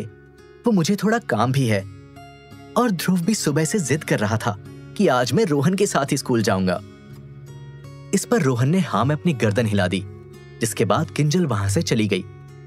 चले पार्टनर ध्रुव रोहन का हाथ पकड़कर बोला। ठीक है चलो। रोहन ने कहा और ध्रुव को गाड़ी में बिठाकर स्कूल के लिए निकल पड़ा। वैसे तुम मेरे साथ ही स्कूल क्यों जाना चाहते थे? कार ड्राइव कर रहे रोहन ने पूछा। एक्चुअली मैं सोच रहा था कि आज निकिता को अपने दिल की बात कह ही दूँ। उस दिन बर्थडे पर उस नील के बच्चे ने बीच में आकर सारा खेल बिगाड़ दिया था। ओ, तो मतलब तुम निकिता को प्रपोज करना चाहते हो? रोहन ने पूछा। इस पर ध्रुव के मोटे मोटे गाल शर्म के मारे टमाटर जैसे लाल पड़ गए और उसने रोहन के सवाल पर शर्माकर हाँ में अपनी गर्दन हिला दी। लेकिन इसमें तुम्हें मेरी क्या मदद चाहिए? रोहन ने दिलचस्पी लेते हुए पूछा। एक्चुअली निकिता को प्रपोज करने से पहले मुझे कुछ सामान लेना था और किंजल मौसी के साथ मैं ये सामान लेता तो उन्हें शक हो जाता। कि किसी लड़की का चक्कर है। ध्रुव ने पूरा मैटर समझाया। अगर मिस किंजल को पता चला तो क्या वो तुम्हें प्रपोज करने से मना करेगी? रोहन ने पूछा। इस पर ध्रुव बोला, नहीं, ऐसी बात नहीं है। लेकिन मौसी के सामने मैं निकिता की बात खुलकर नहीं कर सकता ना। मुझे शर्म आती है। लेकिन तुम तो अब मेरे अच्छे दोस्त बन गए हो तो तुमसे क्या शर्माना? ये सुनकर रोहन के चेहरे पर हल्की सी मुस्कान आ गई। अच्छा बताओ क्या क्या खरीदना है? रोहन ने पूछा। वैसे मुझे भी कोई आइडिया नहीं है। मैं फ़र्स्ट टाइम किसी लड़की को प्रपोज कर रहा हूँ। तुम बताओ, तुमने तो बहुत सी लड़कियों को प्रपोज किया होगा। ध्रुव रोहन की ओर देखकर उससे पूछने लगा। इस पर रोहन बोला, नहीं, मैंने आज तक किसी को प्रपोज नहीं किया। यह सुनकर ध्रुव हैरान रह गया। क्या? लेकिन क्यों? क्या तुम्हें अभी तक कोई लड़की पसंद नहीं आई? इस पर रोहन चुप रहा। फिर ध्रुव बोला अच्छा समझ गया। तुम इतने हैंडसम हो तो तुम क्यों प्रपोज करोगे? लड़कियाँ तुम्हें प्रपोज करती होंगी। इस पर रोहन बोला हम्म कुछ लड़कियों ने वैसे प्रपोज किया था लेकिन मैंने ना बोल दिया। क्या रिया ने भी तुम्हें प्रपोज किया? ध्रुव ने दिलचस्पी लेते हुए पूछा लेकिन यह सवाल सुनकर रोहन सकपका गया और बोला मिसरिया मुझे क्यों प्रपोज करेगी? इस पर ध्रुव बोला क्यों नहीं करेगी? मैंने उस दिन उनको ऑब्ज़र्व किया था। आई थिंक वो तुम्हें पसंद करती हैं। देखना एक ना एक दिन वो ज़रूर अपने प्यार का इजहार करेंगी। ये सुनकर रोहन चुप रहा और एक पल के लिए इस बारे में सोचकर ऑकवर्ड फील करने लगा। तुम ये सब छोड़ो। और ये बताओ कि सबसे पहले क्या लेना है? रोहन ने टॉपिक चेंज किया। जवाब में ध्रुव बोला, जहाँ तक मैंने फ़िल्मों में देखा है, लड़का प्रपोज करते हुए लड़की को गुलाब का फूल गिफ्ट टेडी बियर और ढेर सारी चॉकलेट्स देता है तो हम भी यही खरीद लेते हैं। इस पर रोहन ने हाँ में अपनी गर्दन हिला दी और कुछ देर बाद ध्रुव को वो सारा सामान दिला दिया। फिर ध्रुव और रोहन वो सामान लेकर स्कूल आ गए। इधर ध्रुव जैसे ही कार से उतरा, उसने देखा कि निकिता को भी उसके पेरेंट्स कार से ड्रॉप कर रहे हैं। ये देखकर ध्रुव की धड़कनें तेज हो गई और वो फिर से रोहन की कार में जाकर बैठ गया। क्या हुआ? वापस क्यों आ गए? रोहन ने पूछा। मुझे डर लग रहा है। ध्रुव कांपते हुए बोला, डरो मत। तुमने वो एड नहीं देखा। डर के आगे जीत है। रोहन ध्रुव को हिम्मत देते हुए बोला तभी ध्रुव ने गहरी सांस ली और एक हाथ में गुलाब का फूल और दूसरे में चॉकलेट्स और टेडी बेयर लेकर निकिता की ओर बढ़ने लगा।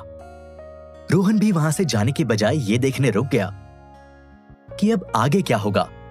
ध्रुव निकिता की ओर बढ़ ही रहा था कि तभी अचानक से उसका क्लासमेट नील आया और उसने ध्रुव को धक्का देकर उसका सारा सामान गिरा दिया। फिर नील ने ज़मीन पर गिरे ध्रुव का कॉलर पकड़ा और बोला निकिता को प्रपोज करने के बारे में सोचना भी मत। तो अब क्या होगा आगे? क्या करेगा ध्रुव? क्या उसके दिल की बात अधूरी रह जाएगी? और रोहन का क्या? वो इस सिचुएशन को कैसे हैंडल करेगा? जानने के लिए सुनिए सीक्रेट मिलेनियर का अगला एपिसोड, सिर्फ़ पॉकेट एफएम पर।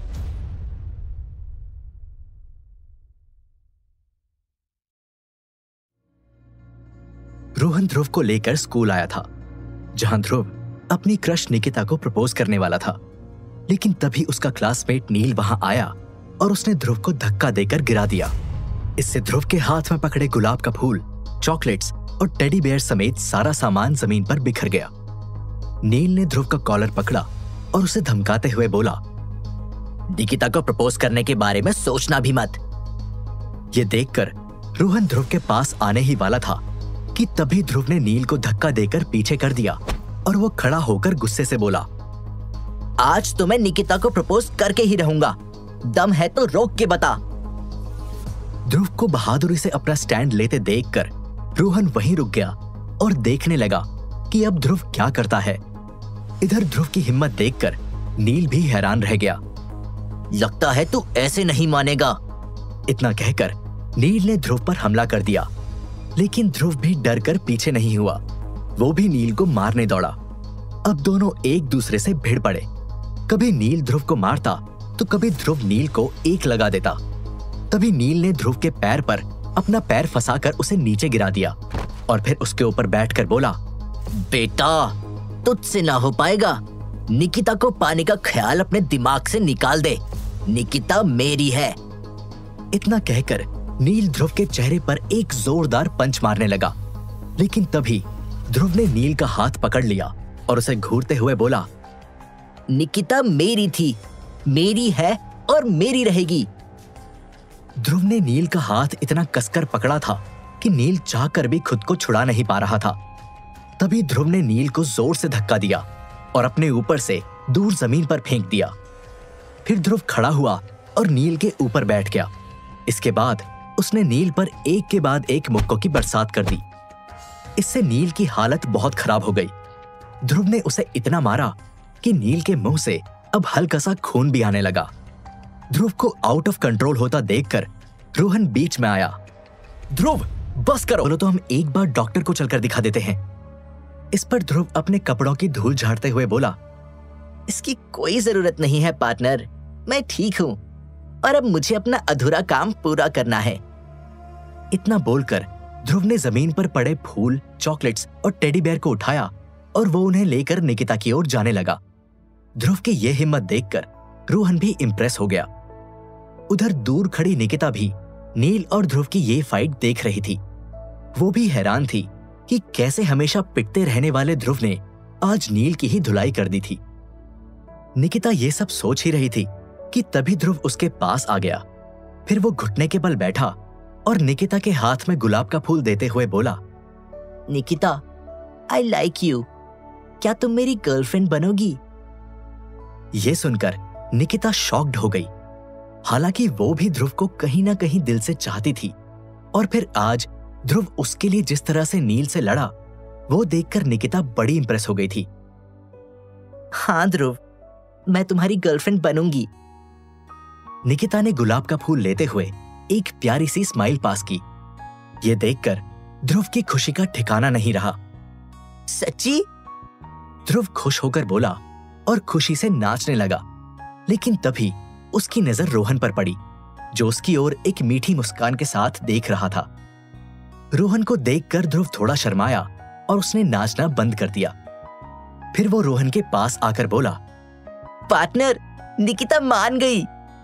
इस पर रोहन ने ध्रुव के बिखरे बाल जमाए और प्यार से बोला, ये तो बहुत अच्छी बात है। कंग्रेट्स वैसे मैं ये तुम्हारे बिना कभी नहीं कर पाता पार्टनर ध्रुव ने इतना कहकर रोहन को गले लगा लिया। लेकिन मैंने इसमें क्या किया? नील को तो तुमने अकेले ही हराया। रोहन कंफ्यूज होकर बोला। इस पर ध्रुव ने कहा, तुम्हारे साथ रहते हुए मैंने बहुत कुछ सीखा। कैसे कभी हार नहीं मानना चाहिए? अपने फेलियर से सीखना चाहिए। और जब तुमको उस दिन बहादुरी से गुंडों से लड़ते हुए देखा तो मैंने भी सोच लिया कि बड़ा होकर तुम्हारी तरह बनूँगा। You are the best partner तुम मेरे आइडल हो। इतना कहकर ध्रुव ने दोबारा से रोहन को गले लगा लिया। ध्रुव की ये बात सुनकर रोहन भी थोड़ा इमोशनल हो गया। हालाँकि उसने अपने चेहरे पर कोई भाव नहीं आने दिया। बस ध्रुव को गले लगाते हुए इतना बोला तुम भी बेस्ट हो पार्टनर तभी रोहन की नज़र निकिता पर पड़ी, जो ध्रुव का इंतज़ार कर रही थी। ये देखकर रोहन ध्रुव से बोला, अब सारा दिन मुझसे ही बातें करते रहोगे, या अपनी न्यू गर्लफ्रेंड निकिता को भी टाइम दोगे? तभी ध्रुव को रियलाइज़ हुआ कि वो निकिता के बारे में तो भूल ही गया था। ठीक है, मैं निकिता के पास जाता हूँ। हम बाद में मिलते हैं पार्टनर इतना बोलकर ध्रुव निकिता के पास चला गया। और दोनों एक दूसरे को प्यार से चॉकलेट खिलाने लगे। ये देखकर रोहन को अच्छा महसूस हुआ। वो मुस्कुराता हुआ कार में बैठा और फिर वापस अल्फ़ा लाइफ नाइट क्लब आ गया। यहाँ आकर रोहन फिर से अपने काम में बिज़ी हो गया। तभी क्लब मैनेजर योगेश ने रोहन को नाइन्थ फ्लोर पर व्यवस्था संभालने भेजा। जब रोहन वहाँ गया तो उसने देखा कि किंजल कुछ लोगों के साथ एक बिज़नेस मीटिंग में बिज़ी है।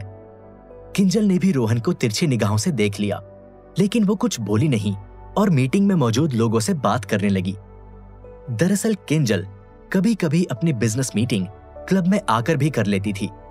आज उसने ऐसा ही किया था। कुछ देर बाद मीटिंग खत्म हो गई और सभी जाने लगे। तभी किंजल रोहन के पास गई और बोली, ध्रुव को अच्छे से स्कूल छोड़ दिया ना? इस बार तो तुम दोनों ने कोई गड़बड़ नहीं की? यह सुनकर रोहन थोड़ा नर्वस हुआ।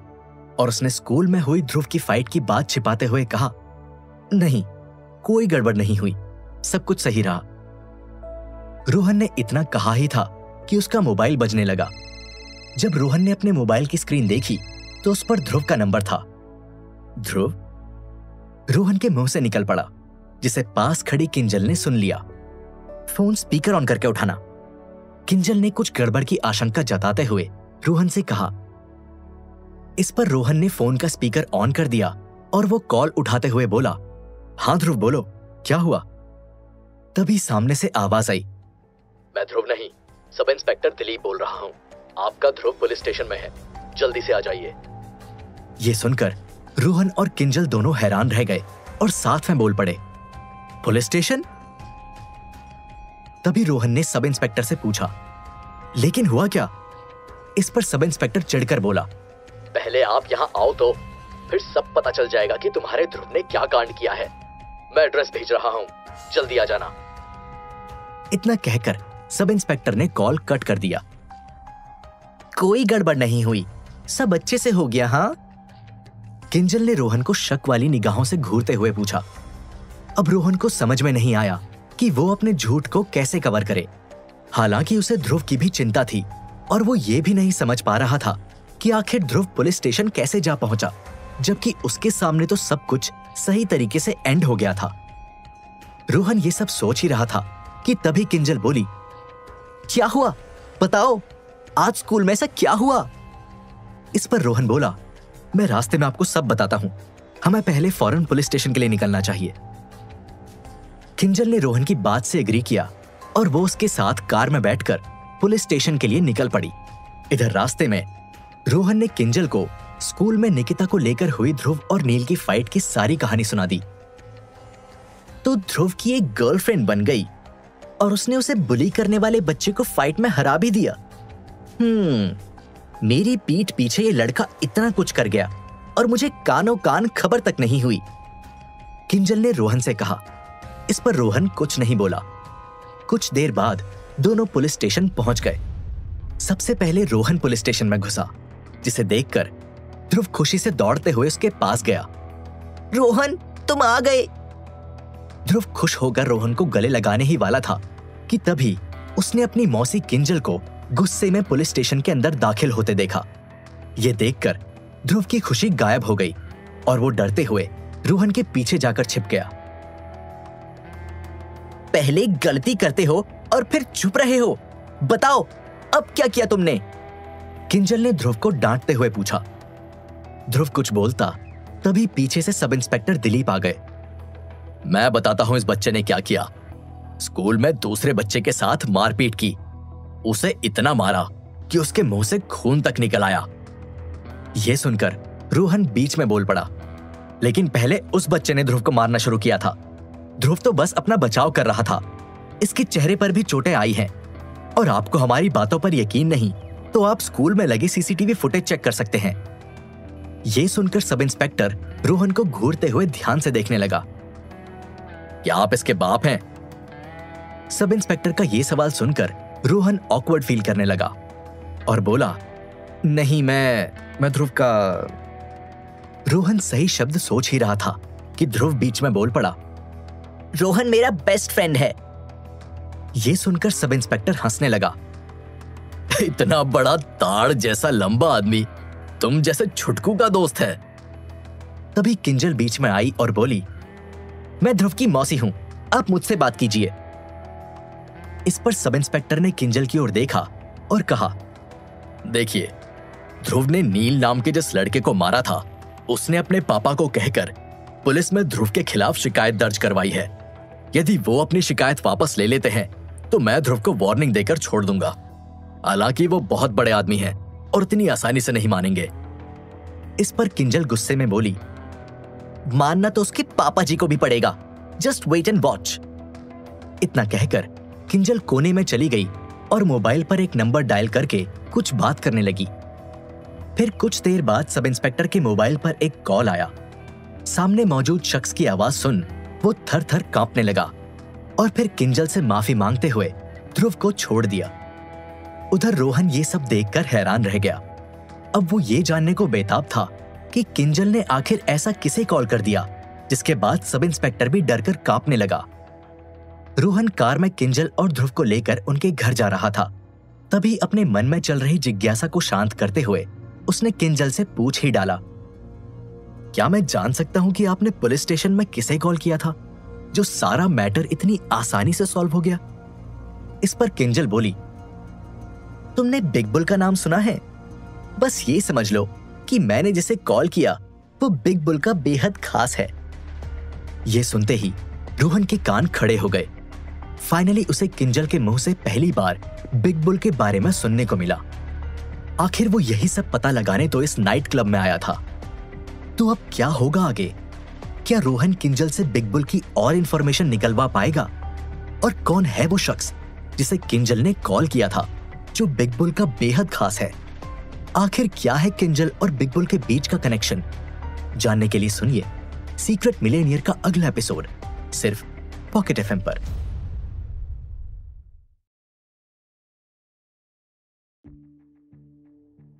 किंजल ने बिग बुल के एक खास शख्स को कॉल करके ध्रुव को पुलिस स्टेशन से छुड़वा लिया था।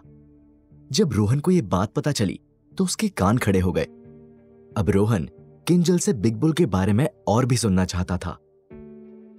बिग बुल हाँ? वैसे कौन है ये? कार ड्राइव कर रहे रोहन ने अनजान बनकर पूछा। नाउ डोंट से कि तुम बिग बुल के बारे में नहीं जानते।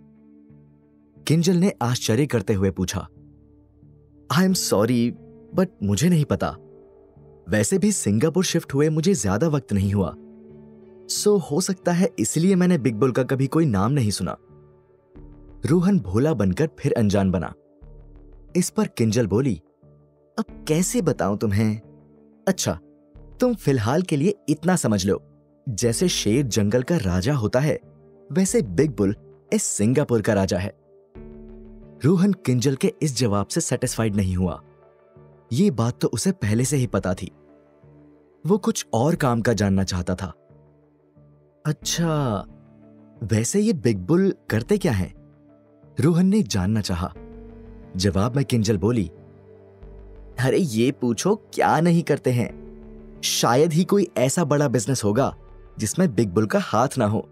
Finance real estate weapon production ship production international import export और किंजल कुछ और आगे बोलती, तभी शिप प्रोडक्शन नाम सुनकर रोहन के कान खड़े हो गए। उसने किंजल को बीच में टोकते हुए कहा शिप प्रोडक्शन क्या बिग बुल ये काम भी करते हैं? इस पर किंजल बोली हाँ इतना ही नहीं, उनकी एक बड़ी शिपिंग कंपनी भी है, बिग ईगल. ये नाम सुनते ही रोहन के पैरों तले ज़मीन खिसक गई। बिग ईगल वही कंपनी है, जिसने द ब्लू होराइजन नाम की शिपिंग कंपनी को टेक ओवर कर लिया था। इसी कंपनी की शिप के पास ही रोहन उसके दादाजी को मिला था। पहले तो रोहन को बिग बुल की तलाश सिर्फ़ इसलिए थी क्योंकि वो अपने दादाजी की मौत का बदला लेना चाहता था। लेकिन अब उसके पास उसे ढूँढने की एक और वजह है। द ब्लू होराइजन शिप से भी बिग बुल का कोई कनेक्शन है, और शायद रोहन के माता पिता से भी। रोहन ये सब सोचते हुए बिग बुल के बारे में किंजल से और कुछ सवाल पूछने ही वाला था कि तभी किंजल बोल पड़ी, ये सब छोड़ो। तुम अपने बारे में बताओ। तुमने कहा कि तुम सिंगापुर कुछ समय पहले ही शिफ्ट हुए। तो इसके पहले कहाँ रहते थे? अब रोहन चाहकर भी किंजल से दोबारा बिग बुल से रिलेटेड कोई सवाल नहीं पूछ सकता था, क्योंकि अगर वो ऐसा करता तो किंजल को उस पर शक हो जाता। इसलिए रोहन किंजल के सवाल का जवाब देते हुए बोला, मैं पहले मुंबई में रहता था। यह सुनकर किंजल बोली, ओ, मुंबई? मैं भी हमेशा से मुंबई जाना चाहती थी, लेकिन काम काज में इतना उलझी रहती थी कि टाइम ही नहीं मिला। वैसे, तुम मुंबई से सिंगापुर क्यों आए? अब असलियत में तो रोहन अपने दादाजी के कातिल और मॉम डैड को ढूँढने सिंगापुर आया था, लेकिन वो किंजल को यह सब कहाँ बताने वाला था? तो उसने सफ़ाई से झूठ बोलते हुए कह दिया, वो मैं जॉब की तलाश में आया था। ये नाइट क्लब वाली जॉब करने मुंबई से सिंगापुर आ गए। ऐसी जॉब तो तुम्हें मुंबई में भी मिल जाती। किंजल ने आश्चर्य करते हुए कहा किंजल की बात में दम था, लेकिन रोहन के मुँह से झूठ का तीर निकल चुका था। इसलिए वो अपनी बात को कवर करते हुए बोला, एक्चुअली, मैं मुंबई में बोर भी हो गया था और कोई फॉरेन कंट्री घूमना चाहता था तो मैंने सिंगापुर चूज़ कर लिया। तो कैसा लग रहा है सिंगापुर? किंजल ने पूछा। बहुत ही बढ़िया। रोहन ने जवाब दिया। तभी किंजल का घर आ गया और रोहन ने गाड़ी रोक दी। ठीक है, रोहन। हम फिर मिलते हैं। इतना कहकर किंजल गाड़ी से बाहर निकल गई। Bye, partner. एंड आज तुमने मेरे लिए जो कुछ भी किया, उसके लिए थैंक यू। अगर तुम ना होते तो शायद ना मैं निकिता को प्रपोज कर पाता और ना उस नील को सबक सिखा पाता। इतना कहकर ध्रुव ने रोहन को गले लगा लिया। बदले में रोहन भी ध्रुव से पूरे दिल से गले मिला। ये नज़ारा देखकर किंजल मन ही मन मुस्कुराने लगी। वो समझ गई कि रोहन का ध्रुव की लाइफ में आना उसके लिए काफ़ी अच्छा रहा। अब वो पहले से ज़्यादा खुश और पॉजिटिव रहता है। रोहन, क्या तुम आज का डिनर हमारे साथ करोगे? किंजल ने रोहन से कहा। यह सुनकर रोहन मन ही मन खुश हो गया। उसने सोचा डिनर के बहाने ही सही, उसे बिग बुल के बारे में किंजल से और जानने का मौका मिल जाएगा। रोहन डिनर के लिए हाँ बोलने ही वाला था कि तभी उसका फ़ोन बजा। ये रिया का कॉल था। रोहन ने जैसे ही कॉल उठाया रिया सामने से बोली रोहन कहाँ रह गए तुम? हमने डिसाइड किया था ना? आज रात को मेरी मायरा से जीत की पार्टी करेंगे? इस पर रोहन बोला वो मैं कुछ काम में बिज़ी हो गया था। क्या मेरा पार्टी में आना ज़रूरी है? रोहन ने मना करना चाहा ताकि वो किंजल के साथ डिनर करके बिग बुल की जानकारी हासिल कर सके। लेकिन रोहन का ये जवाब रिया को पसंद नहीं आया। तुम पागल हो क्या रोहन? तुम्हारे बिना पार्टी कैसे होगी? मैं कुछ नहीं जानती। तुम फटाफट यहाँ आओ। हम साथ में डिनर करेंगे। और अगर तुम नहीं आए तो मैं तुम्हें ढूंढते हुए आ जाऊँगी। फिर तुम कहीं भी हो किसी भी काम में बिज़ी हो मैं तुम्हें खींच कर ले आऊँगी। रिया रोहन पर बरसते हुए बोली अच्छा ठीक है मैं आता हूँ। रोहन ने रिया की जिद पर हारते हुए कहा फिर फ़ोन काटकर किंजल से कहा सॉरी मिस किंजल आपका डिनर ड्यू रहा। आज मुझे कुछ और काम आ गया है तो जाना होगा। यह सुनकर किंजल को मन ही मन थोड़ा बुरा लगा, क्योंकि कई मर्द किंजल के साथ कुछ पल बिताने को मरते हैं। उसके साथ डिनर का मौका मिल जाए तो उन्हें ऐसा लगता है जैसे जन्नत मिल गई हो। लेकिन यहाँ ये रोहन उसके डिनर के ऑफ़र को ठुकरा रहा था। हालाँकि किंजल ने अपनी नाराज़गी को रोहन के सामने ज़ाहिर नहीं होने दिया और बोली, कोई बात नहीं, हम फिर कभी साथ में डिनर कर लेंगे। तुम अपना काम निपटा लो। इतना कहकर किंजल घर में जाने लगी। वहीं ध्रुव भी उसके पीछे पीछे जाने लगा। हालाँकि इस दौरान उसकी नज़र रोहन पर थी और वो उसे एक स्माइल के साथ बाय का इशारा कर रहा था, जिस पर रोहन ने भी अपना हाथ हिलाकर उसे बाय बोल दिया। कुछ देर बाद रोहन आहूजा कॉरपोरेशन आ गया, जहाँ रिया और हितेश उसका पहले से ही इंतज़ार कर रहे थे। कहाँ रह गए थे तुम? और पार्टी में आने से मना क्यों कर रहे थे? रिया रोहन को देखते ही उस पर बरस पड़ी। अरे वो ध्रुव है ना, उसे पुलिस ने अरेस्ट कर लिया था तो उसे लेने पुलिस स्टेशन गया था। रोहन ने कहा, क्या? ध्रुव को पुलिस ले गई थी? लेकिन क्यों? रिया ने आश्चर्य से पूछा। इस पर रोहन ने रिया को पूरी कहानी सुना दी। इस पर रिया आश्चर्य से बोली, वाह, ये ध्रुव थोड़ा अलग बच्चा है। ये तो मैं उससे पहली बार मिलते ही समझ गई थी, लेकिन इतना अलग निकलेगा, ये नहीं सोचा था। By the way I am happy कि उसे उसका प्यार निकिता मिल गई। वरना हर किसी के नसीब में सच्चा प्यार कहाँ होता है? इतना कहकर रिया चुप हो गई। फिर रोहन की ओर देखते हुए बोली क्या तुमने कभी किसी से सच्चा प्यार किया है? इस पर रोहन बोला, हाँ। ये सुनकर रिया हैरान रह गई। कौन थी वो?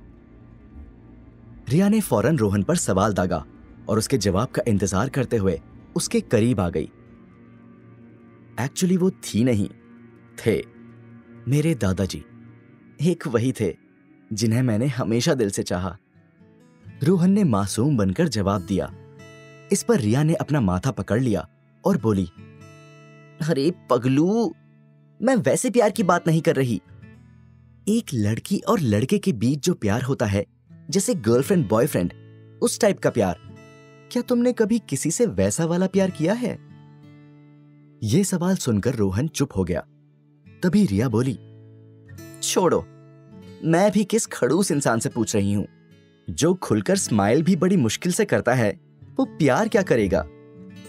यह सुनकर रोहन ने कुछ रिएक्ट नहीं किया।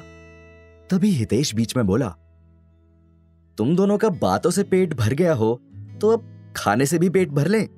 बड़ी जोरों की भूख लग रही है। अरे हाँ, चलो, अब हम पार्टी पर फोकस करते हैं।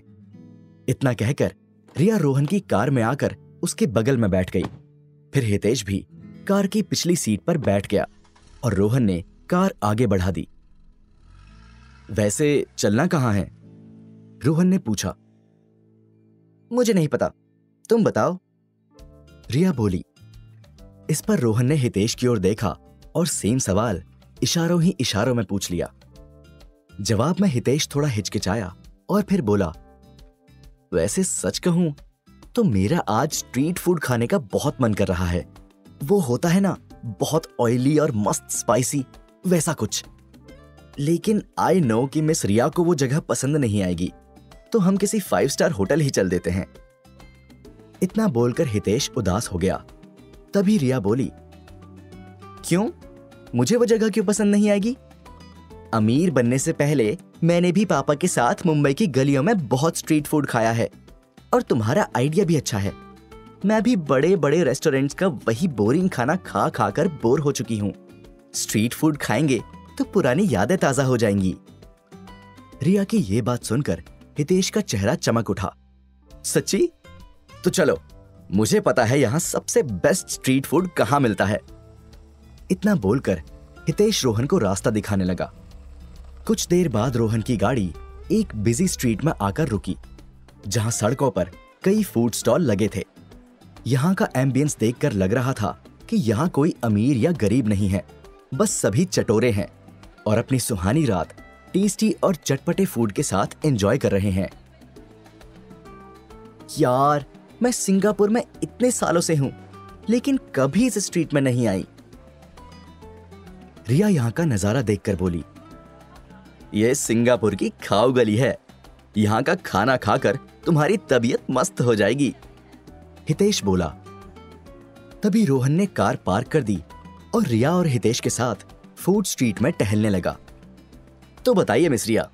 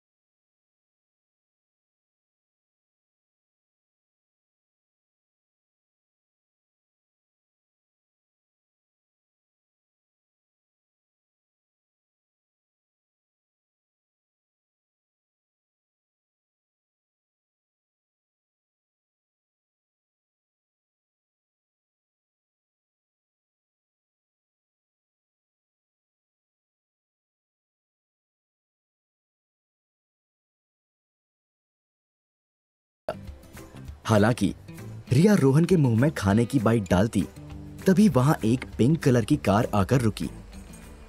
फिर उस कार में से पिंक स्कर्ट और टॉप पहनी दो खूबसूरत लड़कियाँ बाहर निकली। उन लड़कियों को देखकर हितेश बड़ा खुश हो गया। हेलो सुंदरियों, क्या चाहिए तुम्हें? हितेश ने बड़ी सी स्माइल के साथ पूछा। इस पर उन दोनों लड़कियों ने अपने टॉप के अंदर से गन निकाल ली और रिया के ऊपर तानते हुए बोली ये लड़की, इसकी लाश चाहिए हमें। यह सुनकर रिया को इतना बड़ा शौक लगा कि उसके हाथ से खाने की प्लेट ज़मीन पर गिर गई। उन लड़कियों के हाथ में पकड़ी गन को अपनी ओर पॉइंट होता देखकर उसे ऐसा लगा जैसे यही उसका अंत है। तो क्या होगा आगे? क्या रिया इन सुंदर लड़कियों के हाथों मारी जाएगी या फिर रोहन उसे बचा लेगा? आखिर कौन है ये कातिल सुंदरियाँ और किसने भेजा है इन्हें? जानने के लिए सुनिए सीक्रेट मिलेनियर का अगला एपिसोड सिर्फ़ पॉकेट एफएम पर।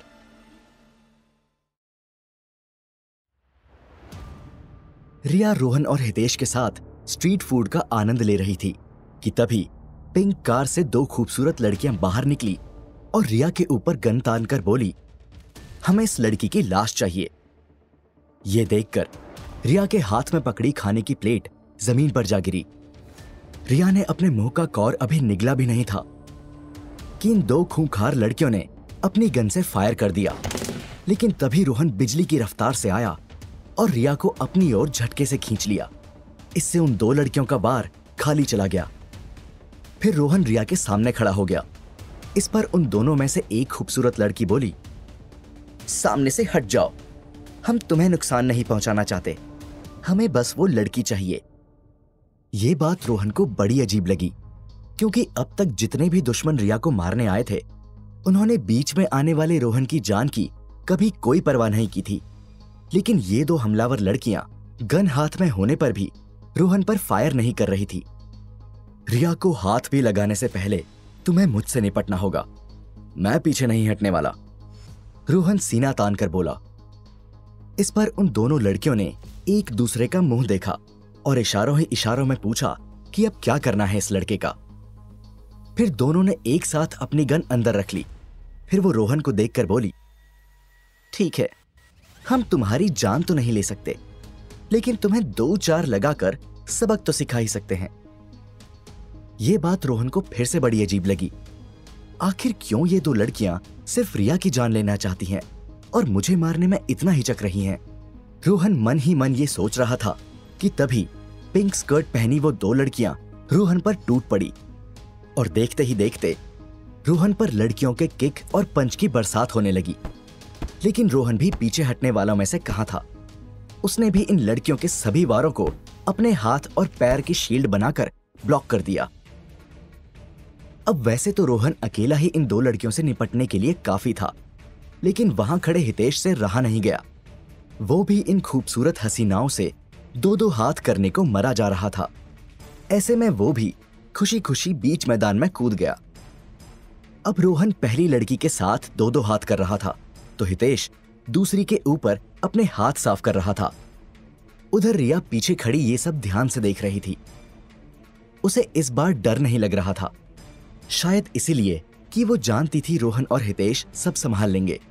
इसके अलावा रिया भी रोहन से ट्रेनिंग ले चुकी थी तो ज़रूरत पड़ने पर वो भी अपना सेल्फ डिफेंस कर सकती थी।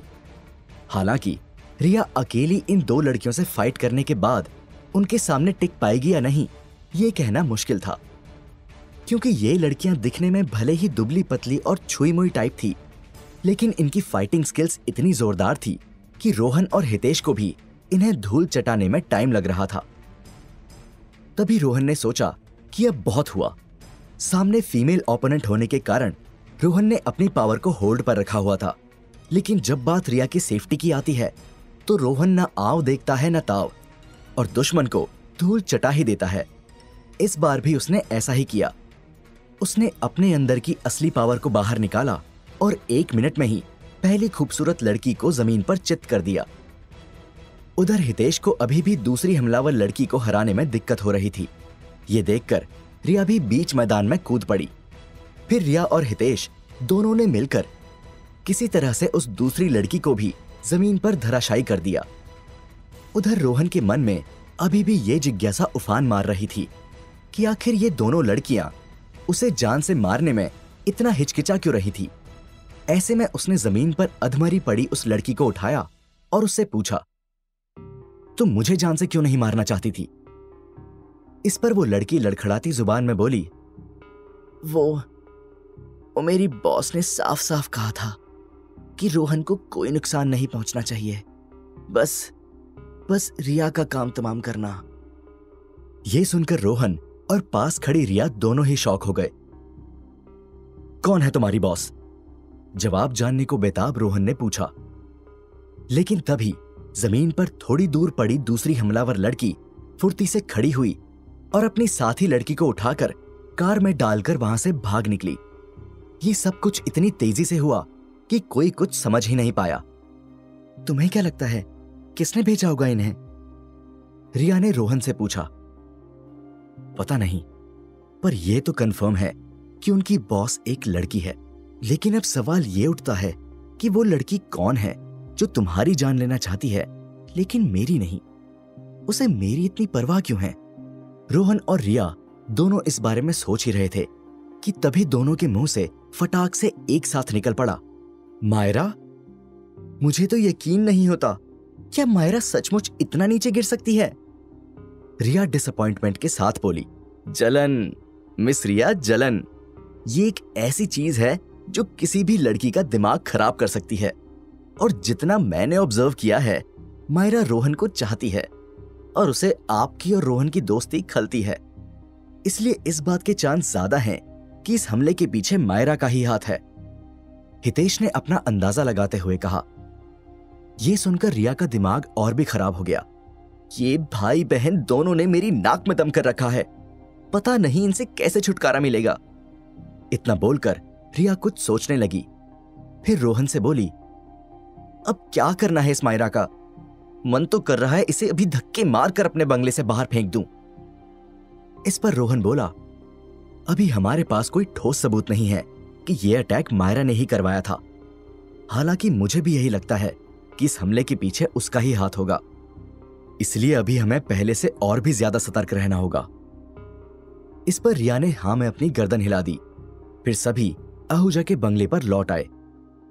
यहाँ रिया और रोहन जैसे ही डाइनिंग एरिया में घुसे, उन्हें मायरा सोफे पर बैठी दिखाई दी। अरे बहना, तुम आ भी गई इतनी जल्दी। मुझे तो लगा कि आज तुम आओगी ही नहीं। मायरा रिया को घूरते हुए बोली हाँ तुमने तो पूरा इंतज़ाम कर रखा था मेरे ना आने का, लेकिन तुम इसमें भी फेल हो गई, जैसे मेरे साथ फाइटिंग कंपटीशन में फेल हुई थी। रिया ने नहले पर दहला मारते हुए कहा यह सुनकर मायरा का दिमाग खराब हो गया, लेकिन उसने अपने गुस्से को कंट्रोल किया और भोली बनते हुए बोली, क्या बात कर रही हो बहना? मैं कुछ समझी नहीं। मुझे लगा तुम आज अपनी जीत का जश्न मना रही होगी। रात भर एंजॉय करोगी, इसलिए आज नहीं आओगी। लेकिन हमेशा की तरह, तुमने मेरी बातों का गलत मतलब ही निकाल लिया।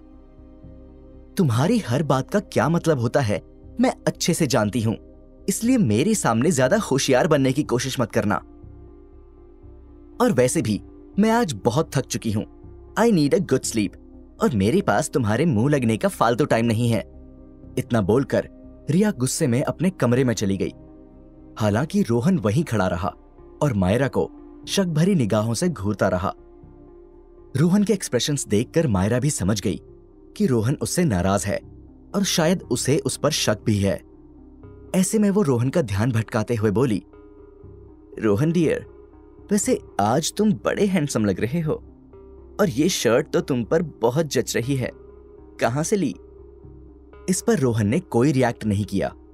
फिर वो मायरा को घूरता हुआ उसके पास आया और बोला, देखो मायरा, अभी भी वक्त है, सुधर जाओ।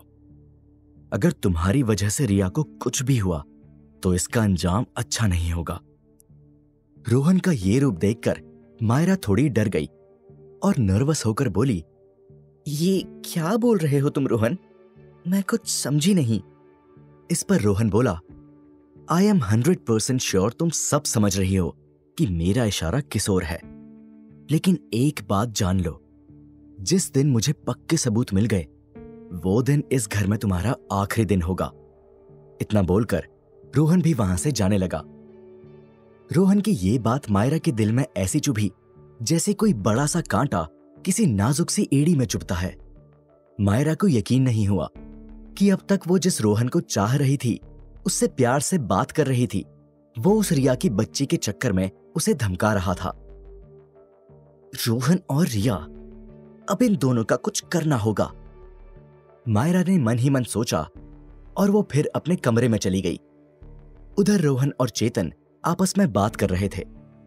रोहन ने चेतन को आज रिया पर हुए हमले और मायरा पर शक वाली बात बता दी।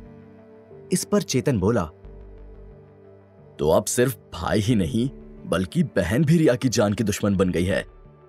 अब पानी सिर से ऊपर जा रहा है। रोहन, मेरी मानो तो हमें जल्द ही इन दोनों पर कोई एक्शन लेना चाहिए। जवाब में रोहन बोला, एक्शन तो मैं भी लेना चाहता हूँ, बट पहले हमें मयंक के उस नए दोस्त अन्ना के बॉस की जानकारी मिल जाए। फिर देखते हैं इन भाई बहन का क्या करना है। वैसे तुमने आज भी मयंक को फॉलो किया ना? कुछ मिला? इस पर चेतन बोला, कुछ खास नहीं। अभी भी मयंक ज़्यादा एक्टिव नहीं दिख रहा है। शायद वो भी उस अन्ना के बॉस की मदद का इंतज़ार कर रहा है। ठीक है, लेकिन तुम मयंक पर से एक दिन भी नज़र मत हटाना। वो कभी भी कुछ भी कर सकता है। रोहन की यह बात सुनकर चेतन ने हाँ में अपना सर हिला दिया। अगली सुबह रोज की तरह, रिया, रोहन और हितेश आहूजा कॉरपोरेशन के लिए निकल गए। उधर चेतन, मयंक को फॉलो करते हुए उसके पीछे चल पड़ा। कुछ देर बाद रोहन की गाड़ी आहूजा कॉरपोरेशन आकर रुक गई। तो क्या आज भी तुम्हारी डे शिफ्ट है?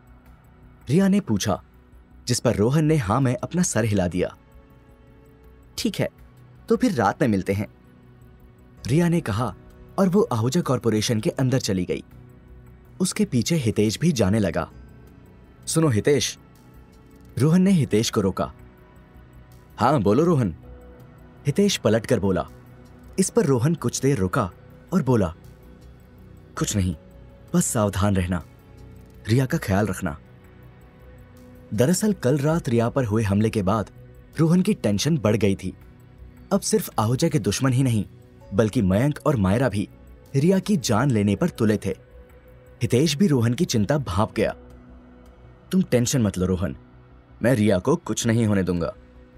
हितेश ने फुल कॉन्फिडेंस से कहा, इस पर रोहन ने अपनी पलकें झपकाकर आँखों ही आँखों में हितेश को थैंक यू कहा और वो वहाँ से निकल पड़ा। फिर रोहन की गाड़ी अल्फ़ा लाइफ नाइट क्लब के बाहर आकर रुकी।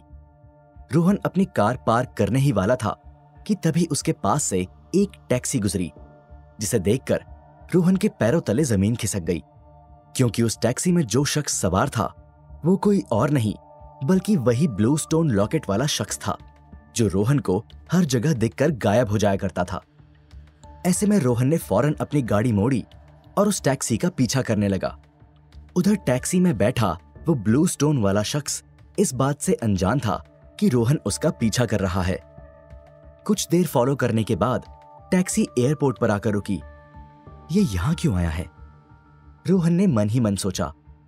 फिर वो लॉकेट वाला शख्स टैक्सी से निकलकर एयरपोर्ट के अंदर घुस गया। ऐसे में रोहन ने भी अपनी गाड़ी बाहर पार्क की और उस शख्स का पीछा करता हुआ एयरपोर्ट के अंदर चला गया। रोहन ने उस शख्स को पकड़ना चाहा, लेकिन वो भीड़ में किसी तरह से उससे बच निकला और अपनी फ़्लाइट पर ऑन बोर्ड होने लगा। अब रोहन ये जानना चाहता था कि आखिर ये शख्स फ़्लाइट लेकर कहाँ जा रहा है। ऐसे में उसने एयरपोर्ट पर मौजूद स्टाफ से पूछा एक्सक्यूज मी क्या आप मुझे बता सकते हैं कि ये जो अभी अभी सारे पैसेंजर्स यहाँ से निकले, उनकी फ़्लाइट कहाँ जा रही है? जवाब में एयरपोर्ट स्टाफ की एक लड़की बोली सर वो फ़्लाइट तो अमेरिका जा रही है। यह सुनकर रोहन सोच में पड़ गया। रोहन ये सोच ही रहा था कि तभी उसका फ़ोन बजा। हाँ रिया, बोलो। रोहन ने कॉल उठाते हुए कहा जवाब में रिया बोली रोहन गैस वट हम अमेरिका जा रहे हैं। यह सुनकर रोहन हैरान रह गया। तो आखिर कौन है ये ब्लू स्टोन वाला शख्स? क्यों जा रहा है ये अमेरिका? और रिया भी रोहन को लेकर अमेरिका क्यों जाना चाहती है? आखिर क्या चल रहा है ये सब? जानने के लिए सुनिए सीक्रेट मिलेनियर का अगला एपिसोड सिर्फ़ पॉकेट एफएम पर।